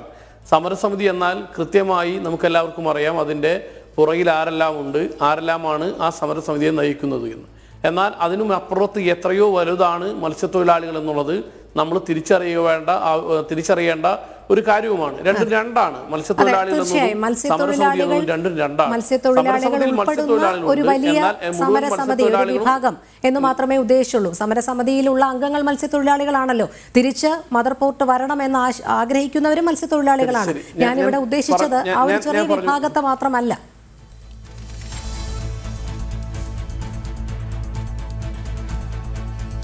ഞാൻ- പറഞ്ഞു മുഴുവിപ്പിക്കട്ടെ. നിങ്ങളിവിടെ പരാമർശിച്ച കാര്യങ്ങളിൽ മന്ത്രിസഭയുടെ സർക്കാരിന്റെ അഭിപ്രായം ഇതിനോടകം വ്യക്തമായി കഴിഞ്ഞ കാര്യമാണ്. സർക്കാരിന്റെ അഭിപ്രായമാണ് ശിവൻകുട്ടിയാണെങ്കിലും ബാലഗോപാലാണെങ്കിലും അല്ലെങ്കിൽ നേരത്തെ പരാമർശിക്കപ്പെട്ട അബ്ദുറഹ്മാൻ സാർ മന്ത്രിയാണ് മിനിസ്റ്റർ ആണെങ്കിലും പറഞ്ഞുകൊണ്ടിരിക്കുന്നത്. തീർച്ചയായും ഇത് മുഖ്യമന്ത്രി പ്രതികരിച്ചാലേ പ്രതികരണമാകൂ എന്നുള്ളത് ജനണ്ടിയുടെ ആവശ്യമാണ്. അത് തൽക്കാലത്തേക്ക് നടക്കില്ല. മുഖ്യമന്ത്രി പ്രതികരിക്കേണ്ട ഘട്ടം വരുമ്പോൾ മുഖ്യമന്ത്രി കൃത്യമായ പ്രതികരണം ഉയർത്തിക്കൊണ്ടുവരികയും ചെയ്യും. അത് കൃത്യമായ സമയത്ത് സമയബന്ധിതമായി ഉയർത്തിക്കൊണ്ടുവരും. ഇനി മത്സ്യത്തൊഴിലാളികൾ കേട്ടിട്ടില്ല എന്ന് പറയുന്നത് ശരിയല്ല. മത്സ്യത്തൊഴിലാളികൾ ഉൾപ്പെടെ സമരസമിതി ഉൾപ്പെടെ പലതവണ കേട്ടതാണ്. മന്ത്രി മന്ത്രിതല ഉപസമിതി ഉൾപ്പെടെ പലതവണ ചർച്ചയ്ക്ക് വിളിച്ചിരുത്തുകയും അവരുടെ ആവശ്യങ്ങളെ അനുഭാവപൂർവം കേൾക്കുകയും ചെയ്തിട്ടുള്ളതാണ്. ആ അനുഭാവപൂർവം കേട്ടതിന്റെ അടിസ്ഥാനത്തിൽ അവരുടെ ആവശ്യങ്ങളോട് മുഖം തിരിഞ്ഞു നിൽക്കുകയല്ല സർക്കാർ ചെയ്തിട്ടുള്ളത്. ആ സർക്കാർ സർക്കാർ ചെയ്തിട്ടുള്ളത് അവരുടെ ആവശ്യങ്ങളെ അംഗീകരിക്കാൻ ഒരുക്കമാണ് എന്ന് പറയുകയാണ്. അവരുടെ ആവശ്യങ്ങളിൽ ഒരിക്കലും നടക്കാൻ സാധ്യതയില്ലാത്തൊരാവശ്യം വരുമ്പോൾ അതിനെ അംഗീകരിക്കാൻ തൽക്കാലം സർക്കാരിന് സാധ്യമല്ല. അതാണ് സർക്കാർ പ്രതികരിച്ചിട്ടുള്ളത്. ഇനി മറ്റൊന്ന് കാര്യം കേസുമായി ബന്ധപ്പെട്ടാണ് സർക്കാരിന് ഇരട്ടത്താപ്പ് ഉണ്ടോ എന്നുള്ളതാണ് ചോദ്യം. സർക്കാരിന് ഏതെങ്കിലും വിധത്തിലുള്ള ഇരട്ടത്താപ്പോട് കൂടിയിട്ടല്ല. വളരെ വ്യക്തമായിക്കൊണ്ട് സർക്കാർ ഇതിന്റെ മുകളിൽ കേസുകൾ ചാർജ് ചെയ്തിട്ടുണ്ട്. ആവശ്യത്തിനുള്ള നടപടികൾ സ്വീകരിച്ചിട്ടുണ്ട്. നിങ്ങൾ നോക്കൂ കഴിഞ്ഞ ദിവസത്തെ സംഘർഷം പോലും നടക്കുന്ന. ഉടലെടുക്കുന്നത് എങ്ങനെയാണ്? അറസ്റ്റ് ചെയ്തവരെ വിട്ടയക്കണമെന്ന് ആവശ്യപ്പെട്ടുകൊണ്ട് ഒരു സംഘം ആളുകൾ പോലീസ് സ്റ്റേഷനിലേക്ക് അതിക്രമിച്ച് കയറുകയാണ്. ആ അതിക്രമിച്ച് കയറി അനിഷ്ട സംഭവങ്ങൾക്ക് ഇട നൽകാവുന്ന വിധത്തിൽ അവിടെ ആക്രമണം കെട്ടഴിച്ചിടുകയാണ്. ഒരുതരം തീവ്രവാദ സ്വഭാവത്തിലുള്ള ആക്രമണം കെട്ടഴിച്ചിടുകയാണ്. വിഴിഞ്ഞമെന്ന് പറയുന്ന മേഖലയുടെ ഒരു സെൻസിറ്റീവായ സ്വഭാവമുണ്ട്. ചരിത്രപരമായി അതിനൊരു സെൻസിറ്റീവായ സ്വഭാവമുണ്ട്. നിരവധിയായ കലാപങ്ങൾക്കും ആസൂത്രിതമായ ആക്രമണങ്ങൾക്കും വർഗീയ ലഹളകൾക്കും സാക്ഷ്യം വഹിച്ചിട്ടുള്ള ഒരു ഇടം കൂടിയാണ് ചരിത്രത്തിൽ വിഴിഞ്ഞം എന്ന് പറയുന്നത്. അതിന്റെ സെൻസിറ്റീവായ ഒരു സ്വഭാവത്തെ അത്തരത്തിലൊരു സെൻസിറ്റീവായി തന്നെ സെൻസിബിളായി തന്നെ ഉപയോഗിക്കുവാൻ വേണ്ടി അവിടെ ഒരു കലാപം ആസൂത്രണം ചെയ്യുവാൻ വേണ്ടി വളരെ ഭംഗിയായി ഇടപെടുകയാണ് ഈ സമരസമിതി ചെയ്യുന്നത്. അവിടേക്കുള്ള നിങ്ങൾ നോക്കൂ സമാനതകളില്ലാത്തതാണ് കേരളത്തിന്റെ ചരിത്രത്തിൽ കേട്ടുകേൾവി ഇല്ലാത്ത വിധത്തിലുള്ള ആക്രമണമാണ് കെട്ടഴിച്ചിടുന്നത്. ഒരു മേഖലയെ തന്നെ ഒറ്റപ്പെടുത്തി ആ മേഖലയിലേക്ക് പോലീസിനോ സംവിധാനങ്ങൾക്കോ സർക്കാരിനോ നാട്ടുകാർക്കോ കയറി ചെല്ലാൻ കഴിയാത്ത വിധത്തിൽ ഐസൊലേറ്റ് ചെയ്ത് ആ ഐസൊലേറ്റ് ചെയ്തിട്ട് അവിടെ കലാപം സൃഷ്ടിക്കുകയാണ്. അപ്പോൾ നമ്മൾ മനസ്സിലാക്കേണ്ടത് ഇതിന്റെ പുറകിൽ വളരെ ആസൂത്രിതമായ കലാപ ശ്രമം ഉണ്ട് എന്ന് തന്നെയാണ്. ആ ആസൂത്രിതമായ കലാപ ശ്രമങ്ങളെ ഒന്നുകിൽ ലെജിറ്റിമൈസ് ചെയ്യുക അല്ലെങ്കിൽ നോർമലൈസ് ചെയ്യുക എന്നുള്ളത് ഒരു പക്ഷേ നിങ്ങളുടെ ചർച്ചകൾ പിന്നെ ഇതിനെല്ലാം ഭാഗമായി മാറാൻ സാധ്യതയുണ്ട്. എന്ന കാരണം എന്താണെന്ന് വെച്ച് കഴിഞ്ഞാൽ ഈ സമരസമിതി പ്രവർത്തകർക്ക് ഏതെല്ലാം വിധത്തിൽ പ്രോത്സാഹനം കൊടുക്കാം എന്നുള്ള രീതിയിലുള്ള കാര്യങ്ങൾ വരെയാണ് ഇത്തരത്തിൽ ചർച്ചകളിൽ ഇപ്പോൾ വളരെ ഭംഗിയായി മുന്നോട്ട് പോകുന്നത് എന്ന് നമുക്ക് സംശയമില്ലാതെ പറയേണ്ടിയിരിക്കുന്നു. ഇവിടെ. വരുന്ന ഒരു വിഷയം ഇരട്ടത്താപ്പ് ഇരട്ടത്താപ്പില്ല വളരെ ഭംഗിയായി നടപടി നടപടി നിയമ നിലപാടുകൾ ഒന്നും തന്നെ പ്രോത്സാഹിപ്പിച്ചതല്ല? അവിടെയാണ് ചോദ്യം ഉയർന്നത്. എന്തുകൊണ്ട് വളരെ പെട്ടെന്ന് പോലീസ് ഒരു നടപടി എടുത്തില്ല എന്നുള്ളത്? കാരണം ഒരു പോലീസ് സ്റ്റേഷൻ ആയിരക്കണക്കിന് ഇത്തരത്തിൽ സമരസമിതി പ്രവർത്തകർ വളയുന്നു. പക്ഷേ എല്ലാവരും മൗനം അവലംബിക്കുകയാണ്. അവിടെ ഒരുപക്ഷെ സംയമനമായിരിക്കാം പോലീസിന്റെ ഭാഗത്തു നിന്നും ഉണ്ടാകുന്നത്. പക്ഷേ അതിനു മുൻപ് തന്നെ ദിവസങ്ങൾക്ക് മുൻപ് തന്നെ ഇന്റലിജൻസ് റിപ്പോർട്ട് അവിടെ വന്നിരുന്നു. ഒരു അക്രമത്തിലേക്ക് എത്താം അത് വലിയ രീതിയിലുള്ള ഒരു പൊട്ടി പൊട്ടിപ്പുറപ്പെടലിലേക്ക് എത്താം എന്നുള്ള രീതിയിൽ. പക്ഷേ അവിടെയാണ് എന്തുകൊണ്ട് പോലീസ് അത്തരത്തിലുള്ള ഒരു മൃദു സമീപനം സ്വീകരിച്ചത് എന്നുള്ള ചോദ്യം ഉയർന്നു. നേരത്തെ പറഞ്ഞതുപോലെ തന്നെ ആരും അക്രമത്തെ പ്രോത്സാഹിപ്പിക്കുന്നില്ല. അങ്ങേയറ്റം കലാപ കലുഷിതമായ കാഴ്ച തന്നെയാണ് നമ്മൾ കണ്ടത്. പാവപ്പെട്ട പോലീസുകാരെ എല്ല് അടിച്ചൊടിച്ച് പല നുറുങ്ങുകളായി കിടക്കുന്നു. അവർക്കൊന്ന് ആശുപത്രിയിലേക്ക് എത്താനുള്ള ആംബുലൻസ് സൗകര്യം പോലും അവിടെ എത്തിക്കാൻ സാധിക്കാത്ത വിധം വളരെ ദയനീയമായിരുന്നു അവരുടെ അവസ്ഥ. പക്ഷേ എന്നിട്ട് പോലും കേസെടുത്തതല്ലാതെ ഒരാളെ പോലും അറസ്റ്റ് ചെയ്യുന്ന നടപടികളിലേക്ക് വരുന്നില്ല. ആരെങ്കിലും ഭയക്കുന്നുണ്ടോ ആഭ്യന്തര വകുപ്പ്?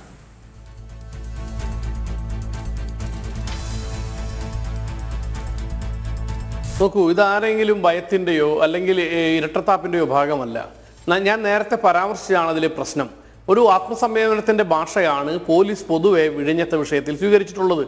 നമുക്ക് ചരിത്രത്തിൽ അറിയാം വിഴിഞ്ഞത്തേക്ക് പോലീസ് കടന്നെത്തിയ അവസരങ്ങളിലെല്ലാം തന്നെ ആ പോലീസിന്റെ കടന്നെത്തലുകൾ ഇടപെടലുകൾ പലപ്പോഴും വെടിവയ്പിലും മനുഷ്യരുടെ ജീവഹാനിയിലുമാണ് അവസാനിച്ചിട്ടുള്ളത്. അത്തരമൊരു സെൻസിറ്റീവായ ഏരിയയാണ്. ആ സെൻസിറ്റീവായ ഏരിയയിൽ കൂടുതൽ അവധാനതയോടുകൂടി വേണം പോലീസ് ഫോഴ്സ് ഇടപെടേണ്ടത് എന്ന തിരിച്ചറിവിന്റെ കൂടി അടിസ്ഥാനത്തിലാണ് പോലീസ് വളരെ അവധാനതയോടുകൂടി ആത്മസംയമനത്തോടുകൂടി ആ വിഷയത്തിൽ വിഴിഞ്ഞെത്തി ഇടപെടുന്ന സ്ഥിതി ഉണ്ടാവുന്നത്. അത് ഏതെങ്കിലും ഇരട്ടത്താപ്പാണ് എന്ന് വ്യാഖ്യാനിച്ച് ഇനി അവിടെ പോലീസിന്റെ ഇന്റർവെൻഷൻ ഉണ്ടായി. വലിയ വെടിവയ്പ് ഉണ്ടായാൽ നിങ്ങൾ ഉൾപ്പെടെയുള്ള ചാനലുള്ള ചർച്ച മറ്റൊരു വിധത്തിലായിരിക്കും. സർക്കാരിന്റെ പിന്നെ സർക്കാരിന്റെ സർക്കാരിന്റെ കൊലപാതകത്തെ കുറിച്ചായിരിക്കും സർക്കാരിന്റെ നരനായാട്ടിനെ കുറിച്ചായിരിക്കും നിങ്ങളുടെ ഉൾപ്പെടെയുള്ള ആളുകളുടെ ചർച്ച. നിങ്ങൾ ഇതിൽ നിന്ന് വളരെ ഭംഗിയായി ഉൾക്കൊള്ളാൻ ശ്രമിക്കുന്നത് ഇവിടെ ഒരു ചോരക്കളി ഉണ്ടാവുക ഒരു കലാപം ഉണ്ടാവുക ഒരു പിന്നെ വിമോചന സമരം ഉണ്ടാവുക. ഇതാണ് ഇവിടെ പലരും ആഗ്രഹിക്കുന്നത്. ആ ആഗ്രഹത്തിലേക്ക് എത്താൻ തൽക്കാലം സർക്കാരിന് സാധ്യമല്ല. സർക്കാർ ഇതിനെ അവധാനതയോടുകൂടി കൈകാര്യം ചെയ്യാനാണ് ആഗ്രഹിക്കുന്നത്. കേസ് കേസുമായി ബന്ധപ്പെട്ട് ആവശ്യമായ കേസുകൾ രജിസ്റ്റർ ചെയ്തിട്ടുണ്ട്. ഇനി ഇത്തരത്തിലുള്ള ആളുകളുടെ സ്വത്ത് ഉൾപ്പെടെ കണ്ട് സ്വത്ത് കണ്ടുകെട്ടുന്ന ഉൾപ്പെടെയുള്ള നിലപാടുകൾ ഈ സർക്കാർ കൈക- കൈകാര്യം ചെയ്യാൻ തീരുമാനിച്ചിട്ടുണ്ട്. എത്ര ഏതെല്ലാം ആളുകൾക്കെതിരെയാണ് കേസെടുത്തിരിക്കുന്നത്? എത്ര ആളുകൾക്കെതിരെയാണ് കേസെടുത്തിരിക്കുന്നത്? അപ്പോൾ കേസിന്റെ കാര്യത്തിലോ കേസുമായി ബന്ധപ്പെട്ട നിലപാടുകൾ സ്വീകരിക്കുന്നില്ലോ സർക്കാരിനോ അതുപോലെ തന്നെ പോലീസിനോ യാതൊരു വീഴ്ചയും പറ്റിയിട്ടില്ല. ഏതെങ്കിലും വിധത്തിലുള്ള മൃദു സമീപനം ഉണ്ടായിട്ടില്ല. അവിടെ സ്വീകരിക്കുന്ന നമ്മൾ സ്വീകരിക്കുന്ന നിലപാട് എന്നുള്ളത് സംയമനത്തിന്റെ ഭാഷയാണ്. ആ സംയമനത്തിന്റെ ഭാഷ കൂടുതൽ അനിഷ്ട സംഭവങ്ങളിലേക്ക് രക്തച്ചൊരിച്ചിലുകളിലേക്ക് എത്തിപ്പെടാതിരിക്കുക എന്നുള്ളതാണ്. അതെ തുടർ നടപടി എപ്രകാരമായിരിക്കും എന്നുള്ളത് തന്നെയാണ് നോക്കി കാണേണ്ടത്. കാരണം അദാനി ഗ്രൂപ്പ് കോടതിയിൽ പറഞ്ഞിരിക്കുന്നത് ഇരുന്നൂറ് കോടിയുടെ നാശനഷ്ടം ഉണ്ടായി എന്നാണ്. സംസ്ഥാന സർക്കാരിന്റെ പ്രാഥമിക കണക്ക് എൺപത്തി അഞ്ച് ലക്ഷം എന്നുള്ളതാണ്. സമരസമിതിയിൽ തന്നെ അത് പിരിച്ചെടുക്കണം എന്നുള്ളത് തിരികെ പിടിക്കണം എന്നുള്ളത് തന്നെയാണ് സർക്കാർ നിലപാട്. അത് അപ്രകാരം തന്നെ ചെയ്യുമോ? മതമേലധ്യക്ഷന്മാർക്കെതിരെ എടുത്ത കേസ് എപ്രകാരം മുന്നോട്ട് പോകും എന്നുള്ളതൊക്കെ ഇനി വരും മണിക്കൂറുകളിൽ നോക്കിക്കാണേണ്ടത് തന്നെയാണ്. സാമൂഹ്യ നിരീക്ഷകൻ വിദ്യാസാഗർ ഗുരുമൂർത്തി കൂടി ചേരുകയാണ്. ശ്രീ വിദ്യാസാഗർ ഗുരുമൂർത്തി നമുക്കറിയാം ഏറ്റവും ഒടുവിലായി നിൽക്കുന്ന അതായത് ഇനി ഒരു വർഷത്തെ ഇടവേള മാത്രമേ ഉള്ളൂ വിഴിഞ്ഞം സ്വപ്ന പദ്ധതി യാഥാർത്ഥ്യമാകാൻ. ഇത്രയും നാളും ഒന്നും ഉയരാത്ത പ്രത്യാഘാതം പാരിസ്ഥിതിക പ്രത്യാഘാതം തീരശോഷണം ഇവയൊക്കെ ഉയർത്തിക്കാട്ടിക്കൊണ്ടായിരുന്നു ഇത്രയും ദിവസം നീണ്ടുനിന്ന ഒരു സമരമാർഗം.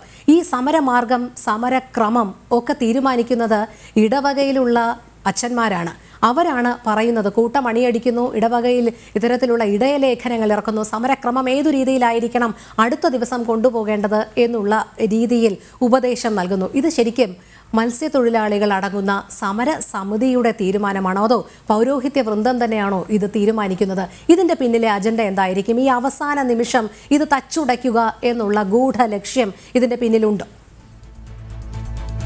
നമസ്കാരം. അവതാരികയോട് എനിക്ക് പ്രേമത്തോടെ ഇഷ്ടത്തോടെ സ്നേഹത്തോടെ ചോദിക്കേണ്ട ഒരു കാര്യം.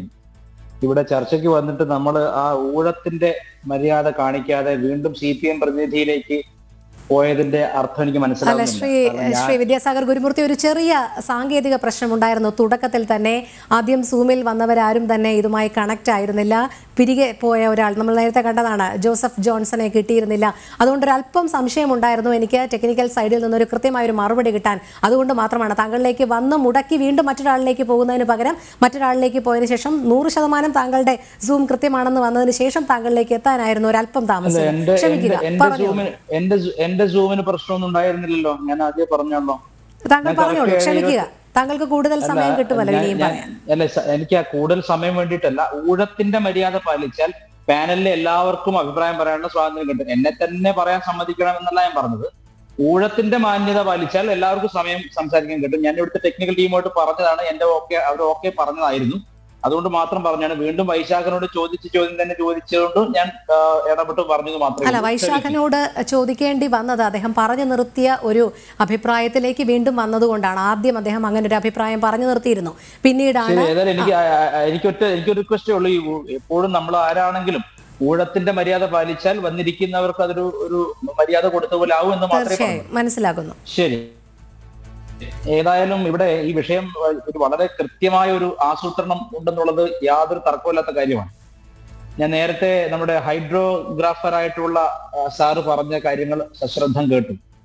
വളരെ അധികം നമ്മുടെ കേരളീയ ജനത പഠിക്കേണ്ടുന്ന കാര്യങ്ങളാണ് അദ്ദേഹം പറഞ്ഞിരിക്കുന്നത്. കാരണം ഇത് എപ്പോഴും ഏതൊരു വലിയ പ്രോജക്റ്റ് വന്നാലും അതിലൊക്കെ നമുക്കുണ്ടാകാവുന്ന സാധാരണ ജനങ്ങളുടെ ആ തദ്ദേശവാസികളുടെ ആശങ്കയെ പരിഹരിക്കുക എന്നുള്ള കാര്യം തീർച്ചയായിട്ടും ഏതൊരു ഗവൺമെന്റ് ചെയ്യേണ്ടതാണ്. ഈ വിഷയത്തിൽ ഇതൊരു പി പി പി ആണ്. അതായത് പബ്ലിക് പ്രൈവറ്റ് പാർട്ണർഷിപ്പ് ആയിട്ടാണ് ഇത് നടത്തുന്നത്.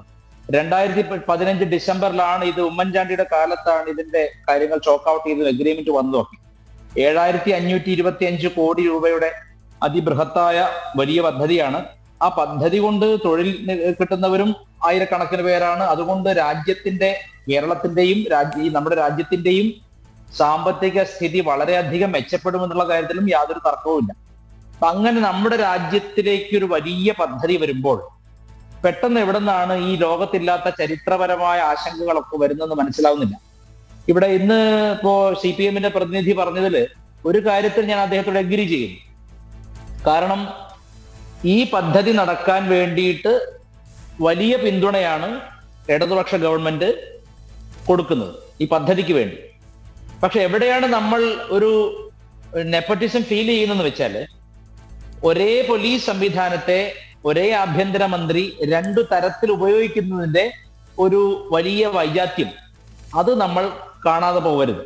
കാരണം ഇവിടെ സംഘടിത ന്യൂനപക്ഷമായിട്ടുള്ള ഈ കത്തോലിക്ക സഭയുടെ എല്ലാ വിഭാഗങ്ങളും എസ്പെഷ്യലി ഈ ലത്തീൻ കത്തോലിക്കർ എന്ന് പറയുന്ന വിഭാഗം അവർ സത്യം പറഞ്ഞാൽ ഈ ഇതിന്റെ തൊട്ടപ്പുറത്ത് നമ്മുടെ തൂത്തുക്കുടിയിൽ നടത്തിയിരുന്ന സമരം ഓർക്കുന്നുണ്ടാവും.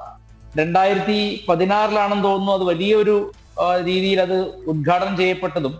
അതിന്റെ ആയിരത്തി തൊള്ളായിരത്തി എൺപത്തി എട്ട് മുതൽ അത് എനിക്ക് തോന്നുന്നു ഗോർബച്ചയുടെ കാലത്ത് മിഖായൽ ഗോർബച്ചയുടെ കാലത്ത് റഷ്യയിലെ റഷ്യൻ പ്രധാനമന്ത്രി അതുപോലെ ഭാരതത്തിന്റെ അന്നത്തെ പ്രധാനമന്ത്രി ശ്രീ രാജീവ് ഗാന്ധി ഈ രണ്ടു പേരും തമ്മിൽ ചേർന്നാണ് ഈ പദ്ധതി ചോക്ക് ഔട്ട് ചെയ്തതും രൂപീകരിച്ചതും. ഭാരതത്തിലേക്ക് കൂടുതൽ എനർജി കൂടുതൽ പിന്നെ ഊർജം സൃഷ്ടിക്കാൻ വേണ്ടിയിട്ട് കൂടംകുളത്ത് ഇതേപോലെ തന്നെ കടൽ തീരത്തോട് ബന്ധപ്പെട്ട ഭാഗത്ത് കൂടംകുളത്ത് ഒരു ന്യൂക്ലിയർ പ്ലാന്റ് കൊണ്ടുവരാൻ വേണ്ടി ശ്രമിച്ചത്. ആ ആയിരത്തി തൊള്ളായിരത്തി ഇരുപ എൺപത്തി എട്ട് നയന്റീൻ എയ്റ്റി എയ്റ്റ് മുതൽ രണ്ടായിരത്തി പതിനാറിൽ നരേന്ദ്രമോദിജി അധികാരത്തിൽ വരുന്ന നരേന്ദ്രമോദിജിയുടെ അധികാരമുള്ള സമയം വരെ രണ്ടായിരത്തി പതിനാറ് വരെ ഇരുപത്തിയെട്ട് വർഷമാണ് പല കാരണങ്ങളാൽ പ്രത്യക്ഷത്തിൽ കണക്ട് ചെയ്യാൻ പറ്റാത്തതെന്ന് തോന്നുന്ന പല കാരണങ്ങളാൽ രാജീവ് ഗാന്ധിയുടെ മരണം കൊലപാതകം അതുപോലെ തന്നെ മറ്റു പല പ്രശ്നങ്ങൾ ഒക്കെ ഉണ്ടായി. അതിന്റെ ഇടയ്ക്ക് നമ്മൾ ചിന്തിക്കേണ്ട കാര്യം ആയിരത്തി തൊള്ളായിരത്തി തൊണ്ണൂറിൽ തന്നെ ഇത്തരത്തിൽ പ്രക്ഷോഭകാരികൾ അവിടെയും തലപൊക്കിയിരുന്നു. ഞാൻ പറഞ്ഞ രാജ്യം സവിശേഷമായ ഒരു ഊർജ സംഭരണത്തിലേക്ക് കടക്കുമ്പോൾ ഒരു പക്ഷേ ഇന്ത്യയിലെ ഏറ്റവും വലിയ പ്ലാന്റാണത് ആ വലിയ കൂടംകുളം പ്ലാന്റിന്റെ ന്യൂക്ലിയർ പ്ലാന്റിന്റെ ഉദ്ഘാടനത്തിന് മുമ്പ് എത്രത്തോളം വലിയ നഷ്ടം രാജ്യത്തിനുണ്ടായി? നയന്റീൻ എയ്റ്റി എയ്റ്റിൽ നിന്ന് അത് പിന്നീട് രണ്ട് രണ്ടായിരത്തി പതിനാറിൽ എത്തുമ്പോഴേക്ക് നാലായിരം കോടിയോളമാണ് പല തരത്തിൽ നമുക്ക് വ്യയം വന്നതും അതിൽ നിന്ന് ലാൻഡ് വാല്യൂ എല്ലാം കൊണ്ടും ഇൻക്രീസ് ചെയ്തതും പല പല പ്രശ്നങ്ങളുണ്ടായിരുന്നു രാജ്യത്തെ സംബന്ധിച്ച് ഇത്തരം പ്രക്ഷോഭങ്ങൾ ഉണ്ടാക്കുന്ന നഷ്ടം സാമ്പത്തികമായ നഷ്ടം സമയനഷ്ടം ഊർജ നഷ്ടം ചെറുതല്ല. പക്ഷെ അതെന്തുകൊണ്ടാണ് ഈ നമ്മൾ പിന്നെ പലരും അഭിപ്രായം പറഞ്ഞതുപോലെ എന്താ പറയാ വെള്ളപൂശിയ കുഴിമാടങ്ങൾ എന്ന് വരെ വിളിക്കപ്പെട്ടിട്ടുള്ള ഇവരെ നമ്മൾ പൊതുവെ ബഹുമാനത്തോടു കൂടിയാണ് കേരളീയ സമൂഹം കാണുന്നത്. കാരണം ഇവർ വിദ്യാസമ്പന്നരാണ് ഇവർ സ്കൂളുകളും കോളേജുകളും നടത്തുന്നു. ഇതുകൊണ്ടൊക്കെ തന്നെ കേരളത്തിലെ സമൂഹത്തിന്റെ വിചാരം ഇവർ വളരെ ശാന്തരാണെന്നാണ്. ഈ ഒരു പദ്ധതി കൂടംകുളം പദ്ധതിക്ക് പിന്നിലും പദ്ധതിയുടെ പ്രക്ഷോഭത്തിന്റെ എസ് പി ഉദയകുമാർ എന്നൊരുത്തനാണ് അതിന്റെ പിന്നെ നേതൃത്വം നൽകിയിരുന്നത്. പക്ഷെ അയാൾക്ക് പിന്നിൽ നിന്ന് വേണ്ടുന്ന ചെല്ലും ചെലവും കൊടുത്തിരുന്നത് അവിടുത്തെ ഇതേ ലത്തീൻ കത്തോലിക്ക സഭയാണ്. അവരന്ന് ഉപയോഗിച്ചിരുന്ന വാദം കന്യാകുമാരിക്കും ഈ തുട്ടിക്കോറിനും ഇടയ്ക്കുള്ള ജലം ജലവിഭവത്തെ വളരെ അധികം അതായത് ഉപ്പില്ലാത്ത വെള്ളം വളരെ അധികം ഈ ന്യൂക്ലിയർ ഭീമൻ കുടിച്ചു തീർക്കും. പണ്ട് കമ്മ്യൂണിസ്റ്റുകാർ കമ്പ്യൂട്ടറിനെതിരെ സമരം ചെയ്തില്ലേ? ഈ കമ്പ്യൂട്ടർ ഭീമൻ തൊലയട്ടെ എട്ടായിരം പേരുടെ ജോലി ഒരു കമ്പ്യൂട്ടർ ചെയ്യും. അതുകൊണ്ട് തൊഴിൽ നഷ്ടപ്പെടും. അതുകൊണ്ട് കമ്പ്യൂട്ടർ വേണ്ട എന്നൊക്കെ പറഞ്ഞിരുന്ന നമ്മുടെ ഇപ്പൊ മുഖ്യമന്ത്രിയുടെ കയ്യിൽ വരെ ഇപ്പൊ ആപ്പിൾ കമ്പ്യൂട്ടർ ഉണ്ടെന്നാണ് ഞാൻ അദ്ദേഹം തന്നെ പറഞ്ഞു കേട്ടിട്ടുള്ളത്. ഇപ്പൊ ഞാൻ നോട്ട് പേഡ് എന്ന് അദ്ദേഹം പറഞ്ഞല്ലോ. അപ്പൊ ഞാൻ പറഞ്ഞത് ഈ പറഞ്ഞ പിന്തിരപ്പൻ ശക്തികളെല്ലാം അങ്ങനെ തന്നെയാണ്. ഇവർ ഫ്യൂച്ചറിസ്റ്റിക് ആയിട്ടൊരു ഡെവലപ്മെന്റ് വരുമ്പോൾ അതിനെ ആദ്യം എതിർക്കുക അന്ധമായി എതിർക്കുക. അതിന് ആരിൽ നിന്നെങ്കിലുമൊക്കെ പുറമേ നിന്ന് പണം കിട്ടുമോ ചെലവ് കിട്ടുമോ എന്ന് നോക്കിയിട്ട് അതും ഇതുമായി വിലപേശുക എന്നൊക്കെയുള്ളൊരു വളരെ കുടിലമായ തന്ത്രത്തിന്റെ ഭാഗമാണിത്. വളരെ സിമ്പിൾ ആണത്. ഇവരിവിടെ പറഞ്ഞിരിക്കുന്ന പ്രധാനമായ കാര്യം സോയിൽ സാൻഡ് ഇറോഷൻ ഉണ്ടായി കഴിഞ്ഞാൽ ആ, ഞങ്ങൾക്ക് വീടുകൾ നഷ്ടമാവും. അപ്പൊ ഞങ്ങൾക്ക് ആദ്യമേ തന്നെ അതിന്റെ പിന്നെ കോമ്പൻസേഷൻ നൽകണം. അതുപോലെ പ്രകൃതി ദുരന്തങ്ങൾ ഉണ്ടാവുന്നതിലൂടെ അല്ലെങ്കിൽ കെറസീൻ മണ്ണെണ്ണ ഞങ്ങൾക്ക് കൂടുതലായിട്ട് സബ്സിഡൈസ് ചെയ്ത് കിട്ടണം. കാരണം ഞങ്ങൾക്ക് ഉൾക്കടലിൽ പോകേണ്ടി വരും. ഈ പ്ലാന്റ് ഇവിടെ വന്നു കഴിഞ്ഞാൽ അല്ലെങ്കിൽ ഈ ഈ ഫോർട്ട് ഇവിടെ വന്നു കഴിഞ്ഞാൽ വെഴിഞ്ഞം പോർട്ട് ഇവിടെ വന്നു കഴിഞ്ഞാൽ ഞങ്ങൾ ഉൾക്കടലിലേക്ക് പോകേണ്ടി വരും. അത്രയും ഞങ്ങൾക്ക് നഷ്ടമാണ്. അപ്പൊ ഇതൊക്കെ കൊടുക്കണം മത്സ്യത്തൊഴിലാളികൾക്ക്. പ്രത്യക്ഷത്തിൽ കേട്ടാൽ സമരസമിതി പറയുന്ന കാര്യങ്ങളെല്ലാം മാനുഷിക മൂല്യങ്ങളുള്ളതാണെന്ന് തോന്നാമെങ്കിലും ഇതിന്റെ അപകടം വരുന്നത് എവിടെയാണെന്ന് വെച്ചാൽ ഇത് എന്തിനെതിരെയാണ് സമരം ചെയ്യുന്നുള്ളതാണ് രാഷ്ട്രം രൂപകൽപ്പന ചെയ്ത് രാഷ്ട്രത്തിന്റെ ഗുണത്തിന് വേണ്ടി ഒരു പക്ഷേ ദുബായ് പോർട്ടിനോടോ സിംഗപ്പൂർ പോർട്ടിനോടോ ഒക്കെ മത്സരിക്കാവുന്ന അത്രയും അത്രയും വലിയൊരു പോർട്ടാണ് വിഴിഞ്ഞം. മറ്റ് സ്ഥലങ്ങൾ മറ്റ് ദുബായ് പോർട്ടിന് പോലും അത്രയ്ക്കും നാച്ചുറലി ഒരു പോർട്ട് ഡെവലപ്പ് ചെയ്യാൻ പറ്റുന്ന എല്ലാ സൗകര്യങ്ങളും പ്രകൃതി തന്നെ കൊടുത്തിരിക്കുന്ന സ്ഥലമാണ് വിഴിഞ്ഞം. നേരത്തെ നമ്മുടെ ഹൈഡ്രോഗ്രാഫർ സാർ അത് പറഞ്ഞല്ലോ. അപ്പൊ ഞാൻ ഈ പറയുന്നത് ഇവിടെ ക്രിസ്ത്യൻ പാതിരിമാർ ഇപ്പൊ മാർ ആലഞ്ചേരി വരെ ഇതിനെ സപ്പോർട്ട് ചെയ്തിരിക്കുകയാണ് ഇപ്പൊ. ഇപ്പൊ കത്തോലിക്ക സഭയുടെ എല്ലാ വിഭാഗങ്ങളും ഈ സമരത്തെ സമരാഭാസത്തെ സമരം എന്ന് പറഞ്ഞുകൂടാ ഈ സമരാഭാസത്തെ പിന്തുണയ്ക്കുകയാണ് ഇവിടെ കഴിഞ്ഞ ദിവസം ഞായറാഴ്ച ഉണ്ടായ അക്രമം ആലോചിക്കുക. ഇത് ഈ സമരം സമിതി വളരെ ആസൂത്രിതമായി ഈ ഗവൺമെന്റിനെ കേരള ഗവൺമെന്റിന് മാത്രമല്ല രാജ്യത്തിന്റെ പിന്നെ സർക്കാരിനെ പോലും ഒരു പ്രഷറൈസ് ചെയ്യുന്ന തന്ത്രമാണ് എടുക്കുന്നത്. അതായത് മെല്ലെ മെല്ലെ മെല്ലെ വാക്കുകൊണ്ട് പറഞ്ഞതെല്ലാം കല്ലുകൊണ്ടും വടി കൊണ്ടും കട്ട കൊണ്ടും ഇരുമ്പ് കമ്പി കൊണ്ടും പറയാൻ തുടങ്ങിയിരിക്കുന്നു. അപ്പൊ ഞാൻ ചോദിക്കുന്നത് ഇത് മാദനി എന്ന് പറയുന്ന ഇസ്ലാമിക ഭീകരവാദി ചെയ്തിട്ടുള്ള അതേ പ്രവർത്തനത്തിന്റെ മറ്റൊരു വശം തന്നെയല്ല ഇത്. ഭീകരവാദം എന്ന് പറഞ്ഞാൽ any armed agitation against the sovereignty of a land of of the nation രാജ്യത്തിന്റെ അഖണ്ഡതയ്ക്കെതിരെ രാജ്യ താല്പര്യങ്ങൾക്ക് വിരുദ്ധമായി ആയുധമേന്തിയുള്ള പോരാട്ടം ഭീകരവാദമാണ്. That is the definition of terrorism അപ്പൊ അങ്ങനെ നോക്കിയാൽ ഈ ലത്തീൻ കത്തോലിക്കക്കാർ ചെയ്യുന്നത് ശുദ്ധമായ ഭാഷയിൽ ഭീകരവാദമാണ്. കാരണം ഇവിടെ ഇതിനിടയ്ക്ക് കഴിഞ്ഞ ദിവസമൊക്കെ പല പോസ്റ്ററുകളും ഫേസ്ബുക്കിലൊക്കെ വന്നു തുടങ്ങി. കേരള സർക്കാരിലെ മന്ത്രിമാർക്ക് കാശ് കിട്ടി എം എൽ എമാർക്ക് കാശ് കിട്ടി എല്ലാ രാഷ്ട്രീയ കക്ഷികൾക്കും കാശ് കിട്ടി മോദിക്ക് കാശ് കിട്ടി എന്നൊക്കെ പറഞ്ഞിട്ട് അദാനി കാശ് കൊടുത്തു എന്ന് പറഞ്ഞിട്ട് വലിയ വാർത്ത വന്നിരുന്നു. ഞാൻ ചോദിക്കട്ടെ നേരെ തിരിച്ചു ചിന്തിക്കാമല്ലോ നമുക്ക്. എന്താണ്? ഇത്രയും വലിയൊരു രാജ്യത്തിന്റെ അഭിമാനം ഉയർത്താൻ പറ്റുന്ന രീതിയിൽ വരുന്ന ഒരു വിഴിഞ്ഞം പോർട്ടിനെതിരെ സമരം ചെയ്യുക വഴി ഒരു പക്ഷെ വിദേശ ശക്തികളിൽ നിന്ന് പോലും ഇവിടെ കിട്ടുന്നതിന്റെ നൂറിരട്ടി വില പേശുന്നത് ഒരു പക്ഷേ കുഞ്ഞാടുകളുടെ വേഷമിട്ട ഈ കുറുക്കന്മാരാണെങ്കിലോ. ഈ ചോദ്യത്തെയാണ് ഈ ചോദ്യത്തെയാണ് കേരള ജനത ഇന്ന് ചോദിക്കുന്നത്. ഞാൻ പറയുന്ന ഇത്രയേ ഉള്ളൂ. പിണറായി വിജയൻ എന്ന് പറയുന്ന നമ്മുടെ മുഖ്യമന്ത്രിയോട് എനിക്ക് പറയാനുള്ള ഒരൊറ്റ കാര്യം മാത്രമേ ഉള്ളൂ. അതായത് ശബരിമലയിൽ സ്വന്തം വിശ്വാസം സംരക്ഷിക്കാൻ വേണ്ടി ഭക്തജനങ്ങൾ നാമജപ സമരം അതായത് കല്ലെറിഞ്ഞിട്ടില്ല ഒരു പോലീസ് സ്റ്റേഷൻ ആക്രമിച്ചിട്ടില്ല ഇവിടെ നടന്നതാണ് പോലീസ് സ്റ്റേഷൻ ആക്രമിക്കുക. ആ മാത്രമല്ല ഇവിടെ രസകര സംഗതി എന്താ വെച്ചാൽ നമ്മുടെ പോലീസുകാർക്ക് എന്തു പറ്റിയെന്ന് ഞാൻ ആലോചിക്കുകയാണ്. ഒരു പോലീസ് സ്റ്റേഷനെ ആക്രമിച്ചിട്ട് അവിടുത്തെ മുപ്പത്തിയാറോളം പോലീസുകാരെ ആക്രമിച്ചു. രണ്ട് പോലീസുകാരുടെ നില ഗുരുതരമാണ്. പോലീസ് സ്റ്റേഷനിൽ എൺപത്തിയഞ്ച് ലക്ഷത്തിന്റെ നാശനഷ്ടം ഉണ്ടാക്കി. എന്നിട്ട് പോലും പോലീസ് ശാന്തിയുടെ വെള്ളരിപ്രാവുകളായി പെരുമാറുന്നത് എന്തുകൊണ്ടാണ്? അത് വളരെ കൃത്യമായ മതവിവേചനം മാത്രമാണ്. മുമ്പ് രണ്ടായിരത്തി പതിനെട്ടിൽ കേരള പോലീസിന്റെ ഫേസ്ബുക്ക് പേജിൽ ശബരിമലയിലെ സാധുക്കളായ ഭക്തന്മാരെ മനോജ് എബ്രഹാമിന്റെ ഒക്കെ നേതൃത്വത്തിൽ തല്ലി ചതച്ച സമയത്ത് പല ഭക്തന്മാരും പോലീസിന്റെ ഈ പറഞ്ഞ ഫേസ്ബുക്ക് പോസ്റ്റിൽ പോയിട്ട് പരാതിപ്പെട്ടപ്പോൾ അവർ പറഞ്ഞത് പിന്നെ തല്ലിന് മതമില്ല ബ്രോ എന്നാണ്. മതം നോക്കിയല്ല ഞങ്ങൾ തല്ലുന്നതാണ്. ഇപ്പൊ മനസ്സിലായില്ലേ? മതം നോക്കിയും. പട്ടക്കാരെയും പള്ളിക്കാരെയും നോക്കിയും ഒക്കെ തന്നെ തള്ളുന്നത് അപ്പൊ ഞാൻ പറഞ്ഞത് എന്റെ പോയിന്റ് ഒന്ന് പൂർത്തീകരിക്കട്ടെ. ഞാൻ പറഞ്ഞത് കാരണം ഞാൻ രണ്ട് ഊഴത്തിന്റെ സമയം ഒരിക്കലും എടുക്കുകയാണ്. എന്ന് വെച്ചാൽ ഇതിന്റെ പ്രശ്നം എന്താന്ന് വെച്ചാൽ ശബരിമലയിൽ കാണിച്ച അക്രമമോ പോലീസിന്റെ ശൗര്യമോ പല്ലോ ഒന്നും ഇവിടെ കാണാനില്ല. ഇവിടെ സത്യം പറഞ്ഞാൽ സഭ എന്ന് പറയുന്ന ആഗോള ഭീകരന്റെ മുമ്പിൽ ആഗോള സാമ്പത്തിക ഭീകരന്റെ മുമ്പിൽ കാരണം നമുക്കറിയാം കൊച്ചു കുഞ്ഞുങ്ങളെ പീഡിപ്പിച്ചതിന് ക്രിസ്തീയ സഭ വിദേശത്തടക്കം ലക്ഷം കോടി രൂപയാണ് പ്രതിവർഷം ചെലവഴിക്കുന്നതും വക മാറ്റി വെച്ചിരിക്കുന്നത് എന്തിനാണ് അച്ഛന്മാർ പോയിട്ട് കൊച്ചു പിള്ളേരെ കൊച്ചു പിള്ളേരെ പീഡിപ്പിക്കുമ്പോൾ അതിന് നഷ്ടപരിഹാരം കൊടുക്കാൻ വേണ്ടിയിട്ട്?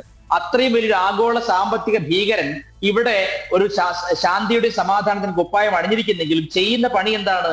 ഒന്നാം തരം ഭീകരവാദം. കൂടംകുളത്ത് ജയലളിത അതിനെ അടിച്ചമർത്തി ആയിരത്തി എണ്ണൂറ് പേർക്കെതിരെ കേസ് വന്നു.